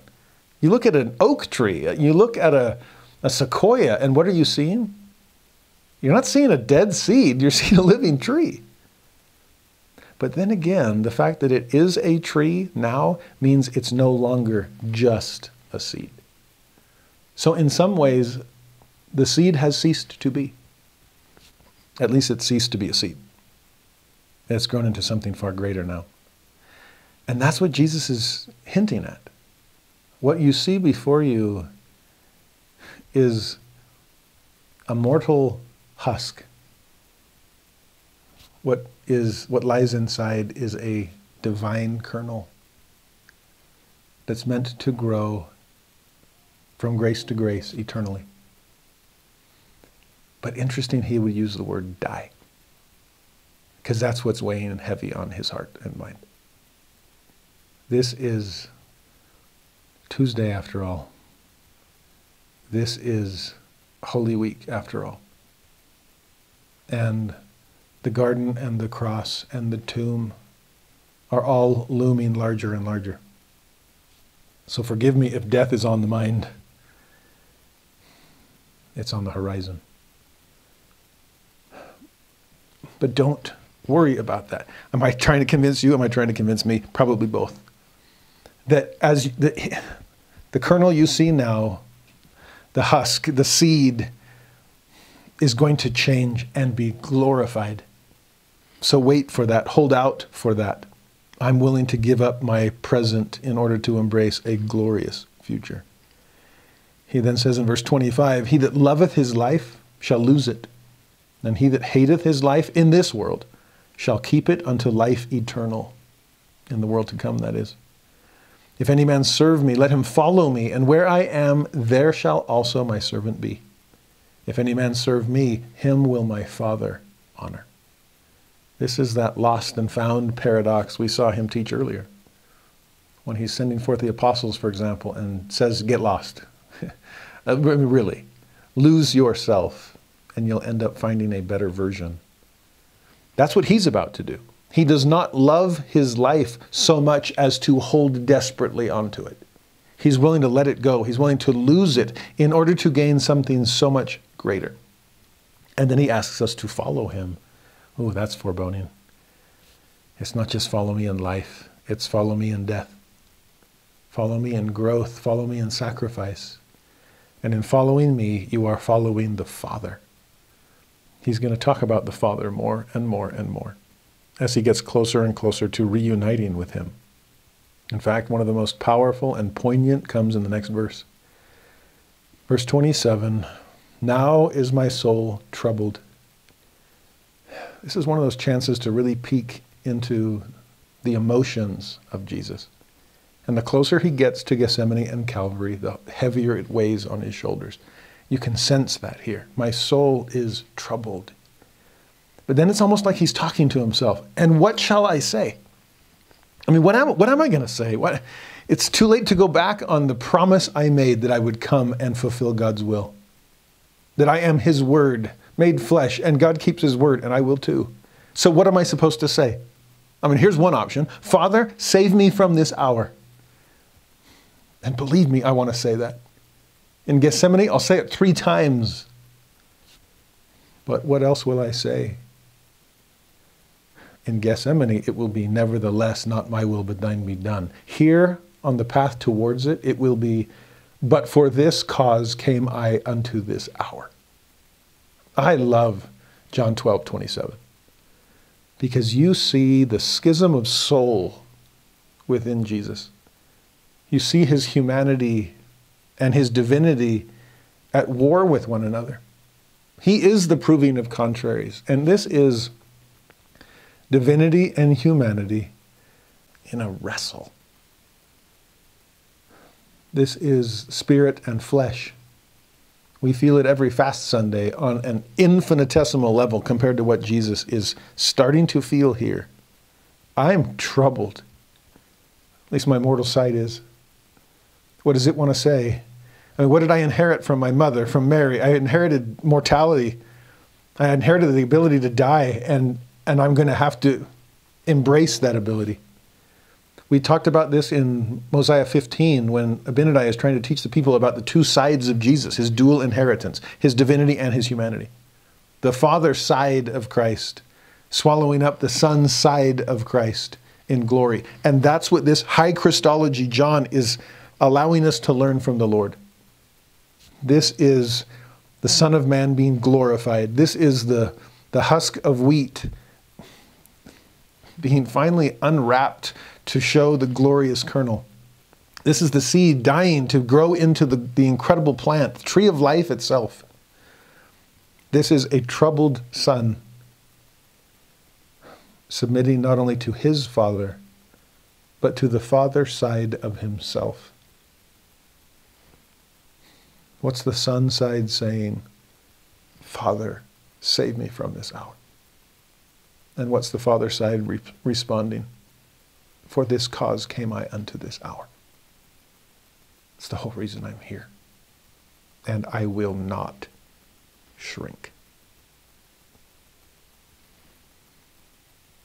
It's decided. He's determined. And so in verse 28, he says, Father, glorify thy name. I know what it's going to take to do it, but do it. Glorify thy name. And then came there a voice from heaven saying, I have both glorified it. That's past. And will glorify it again. That's future.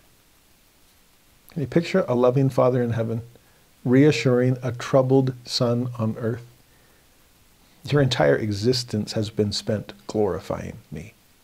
You did it in premortality. You've been doing it throughout mortality. And now, as you head toward post mortality, this will be your greatest act of glorifying me in all of history, in all of eternity. So, of course, I will glorify you again, just as you glorify me. Now, the people heard this. At least they heard something. It says, The people, therefore, that stood by and heard it said that it thundered. It's like, oh, there's some kind of, God must be, have a bass voice. just this rolling thunder, and they just, they heard something from above. Oh, it just, it must be the weather. Well, it was something far higher than that. Others said, An angel spake to him. Well, you're getting closer, but you're still worlds away. Now, Jesus, on the other hand, knows exactly where that voice came from. And Jesus answered and said, This voice came not because of me, but for your sakes. You see, I don't need that divine backup, though I'm grateful to receive it.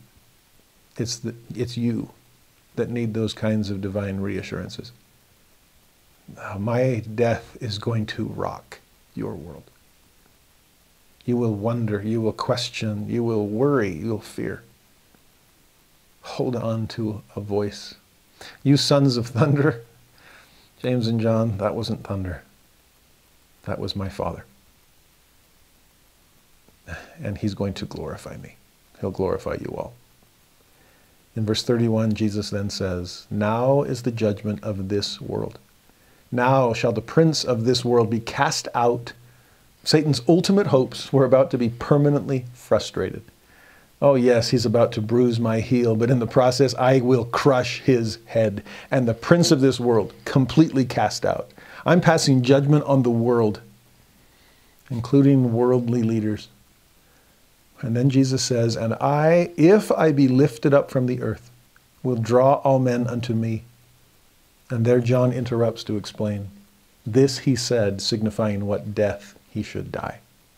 Lifted up from the earth, oh yeah, that's crucifixion. Jesus himself will draw upon that in 3 Nephi 27 in a beautiful way, where he describes the gospel not just as the fourth article of faith, but as the third article of faith, infusing the fourth article of faith. Yes, your part is faith, repentance, baptism, Holy Ghost. My part is atonement and crucifixion. It's Gethsemane and Calvary, an empty tomb. It's me being lifted up by men so that I could lift you all up to the Father. There's something about being lifted up, raising your hand, for example, because it draws the eye. And so Jesus being lifted up on the cross, of course, it will lift our gaze from the cares of the world up a little closer, a little higher to heaven. And to see Him, to have our hearts drawn out in empathy and sorrow and compassion for Him. That is the Father drawing us to the Son, so the Son can draw us to the Father. I love that He's describing that right here among these Greeks and everyone else that's assembled to hear Him in verse 34, the people answered him, and they said, We have heard out of the law that Christ abideth forever. And how sayest thou, the Son of Man must be lifted up? Who is this Son of Man? So they still don't get it. Like, wait a minute, you're going to leave? I thought Christ was supposed to stay. Uh, hard sayings, who can hear it? I mean, are we, are we betting on the wrong guy here? What do you mean you're going to leave us? Who is this Son of Man? You see, we were expecting Son of God. Isn't that what we're getting? Well, yes, but he's Son of Man also. We just want the divine side. Well, this time around, you get more of the human side. Oh, you wanted lion. This time you get lamb. What you're banking on is actually the second coming. You lived for the first. Sorry. Do you understand what he's trying to help them understand? You, don't mistake the, the first coming for the second. They're going to be very different. And this one, yes, the Son of Man will be lifted up. Now, Jesus says to them, Yet a little while is the light with you. And light has been a theme that John has focused on frequently throughout his gospel. Here it is returning at the end, Jesus as the light of the world. And the darkness comprehended it not. This light is about to be swallowed up by the darkness. And yet, in the process, the light will shatter the darkness forever. So, yet a little while, he tells the people, the light will be with you. What are you supposed to do in the meantime then? Walk while ye have the light, lest darkness come upon you. For he that walketh in darkness knoweth not whither he goeth. While ye have light, believe in the light, that ye may be the children of light. And then John says, These things spake Jesus and departed, and did hide himself from them. So that's the end of this public discourse. And the rest of chapter 12 will be John clarifying some things, help narrating the rest of this story, Jesus saying a few words of his own, but not to the multitudes anymore, just to his chosen 12. I do love the way he ends this, though as he goes and hides himself. He's about to step off into the shadows. The night is coming. Perfect time to remind them of the importance of the light. And while you still have it, what will you do with it? Will you walk in that light? If I knew I was going blind, I think I would choose much more wisely what I fix my eyes upon in the meantime. Are there things I never want to forget? Things I want to emblazon upon the, the canvas of the mind so I can see them there, though I can't see them externally. If I was, if darkness was setting in and I had a flashlight, but I knew the batteries were dying, where would I shine that light in its waning moment? Most likely, I would shine it in places so that I knew the lay of the land, so that once darkness descended, I could still get around and not be a blind guide or a blind man groping for the wall, to borrow Isaiah's language. While we have light, are we willing to see? Are we willing to embrace the light of the world? Are we willing to get our bearings and clarify our directions so that we can do what Brigham Young said be righteous in the dark? Oh, what a blessing to still have the light of the world. Now, verse 37, as he's hidden himself from the multitudes, John gives us this. But though he had done so many miracles before them, yet they believed not on him. There's the darkness not comprehending the light. But rather than quote himself, John quotes Isaiah. That the saying of Isaiah the prophet might be fulfilled, which he spake Lord, who hath believed our report? And to whom hath the arm of the Lord been revealed? This is John after the fact, years later, looking back, thinking of these times, these dark days, and lamenting that more people didn't come and see the light. He must have drawn some comfort from his Old Testament study as he went back to Isaiah and realized that, yes, I suppose this is how things had to be. At least these are, this is the way Isaiah prophesied they would be. But I love the chapter of Isaiah he's quoting there. It's Isaiah 53. Who hath believed our report is the way the chapter begins. And Isaiah 53 is the greatest of the, of the servant songs in Isaiah. This is the one where he speaks of the atonement in some of the most graphic and specific of terms. Uh, John just quoted Isaiah 53, verse 1, but skip ahead to verse 3 and verse 5. And what's he say? He is despised and rejected of men, a man of sorrows and acquainted with grief. He was wounded for our transgressions, he was bruised for our iniquities.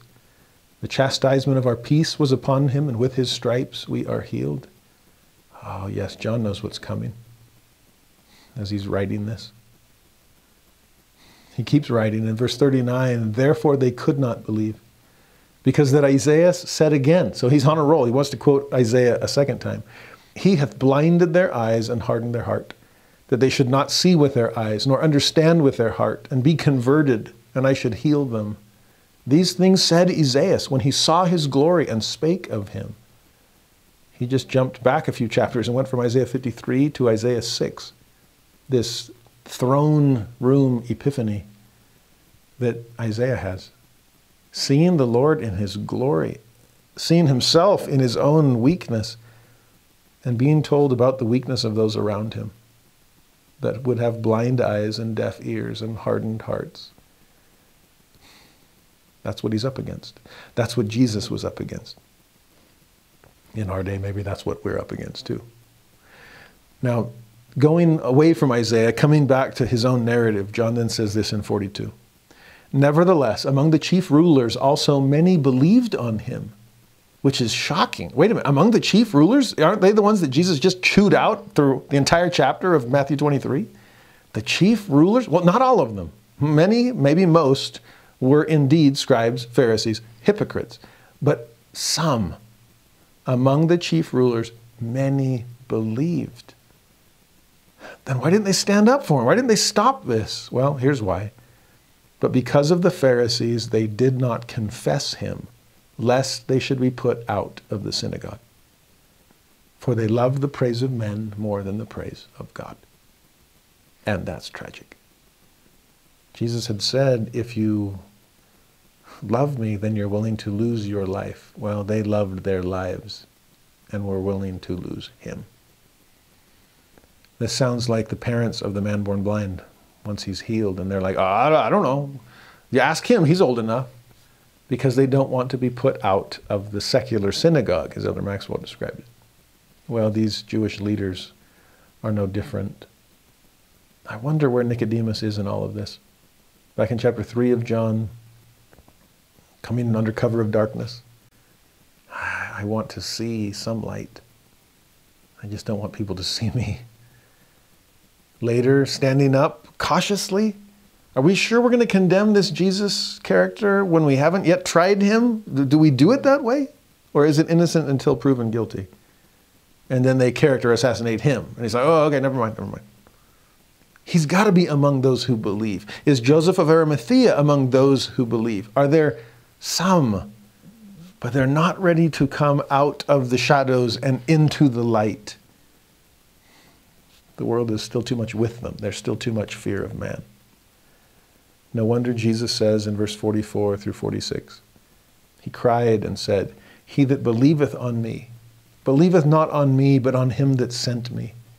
And he that seeth me, seeth him that sent me. I am come a light into the world, that whosoever believeth on me should not abide in darkness. There's no reason to fear man when God the Father will watch out for you. If you believe in me, you believe in him. I'm the light, and the Father has sent me to shine in darkness. So come out from the shadows, please. Verse 47 And if any man hear my words and believe not, I judge him not. For I came not to judge the world, but to save the world.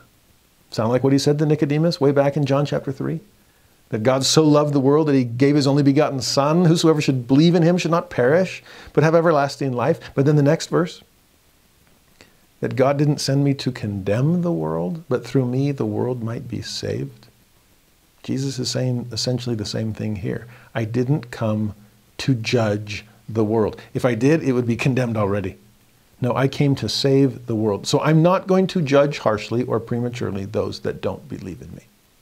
I can afford to play the long game, to wait for prodigals to come to themselves. I don't have to pass judgment here. That's not my place. He says, He that rejecteth me and receiveth not my words hath one that judgeth him. but like I said, it's not me. What is it then? The word that I have spoken. The same shall judge him in the last day. I love that Jesus doesn't take their rejection personally. I'm not going to judge my words will. They'll stand there. Nephi said the same thing. Moroni said the same thing. The way Nephi said it, if you don't like my words, that's fine. Just believe in Jesus. He'll convince you whose words they are because they're his. Jesus has that same confidence in his word. It will stand. And he doesn't have to personally pass judgment. The truth that he proclaimed will be judge enough. And so the chapter ends verse 49 and 50. For I have not spoken of myself, but the Father which sent me. He gave me a commandment what I should say and what I should speak. And I know that his commandment is life everlasting. Whatsoever I speak, therefore, even as the Father said unto me, so I speak. How's that for high Christology? How's that for Jesus, who will now soon turn inward and begin the Last Supper with his chosen 12. That's what we see next in the book of John. We still have more to cover in Matthew, Mark, and Luke on the way to Thursday. What we'll see next week, later Tuesday, hints at some possibilities on Wednesday. But to see the Olivet Discourse and the signs of the times, oh, I hope I haven't scared you off with the eternal nature of this week's lesson because we have amazing things to talk about next week. But the way Jesus ended there, it's not about me. It's about my Father. How's that for high Christology? How's that for humanity bowing to divinity and son side being swallowed up in father side? There's the light of the world. And will we emerge from the darkness to embrace that light? As he describes these commandments that God has given us which are infinitely easier than the commandment that the Father has given the Son. And yet, how does the Son refer to God's commandments? Life eternal. I know I have to pass through death to get there. But on the other side of it all is eternal life. My wonderful friends, my long suffering listeners, are you seeing Jesus? to go back to the question he asked earlier, but keeping it broad instead of specific. I'm not trying to trap you here and then ask you chicken and egg dilemmas. No, I'm simply asking that we all ponder Christ's question What think ye of Christ? What do we think of him? Do we see in him the good father that I want to serve the moment he asks me to? Do I see in him the householder that makes me want to be the most righteous husbandman I can possibly be? Do I think of him as the son who's soon to be married and I, little old me, gets invited to the wedding feast? Will I come because of what I think of him? My prayer for all of us is that we think more about Jesus. That we take our palms and our garments and we lay them at his feet. That we shout Hosanna because we know that in him is salvation. I pray that we may desire anyone that can point the way to him because his way is life and that life is everlasting.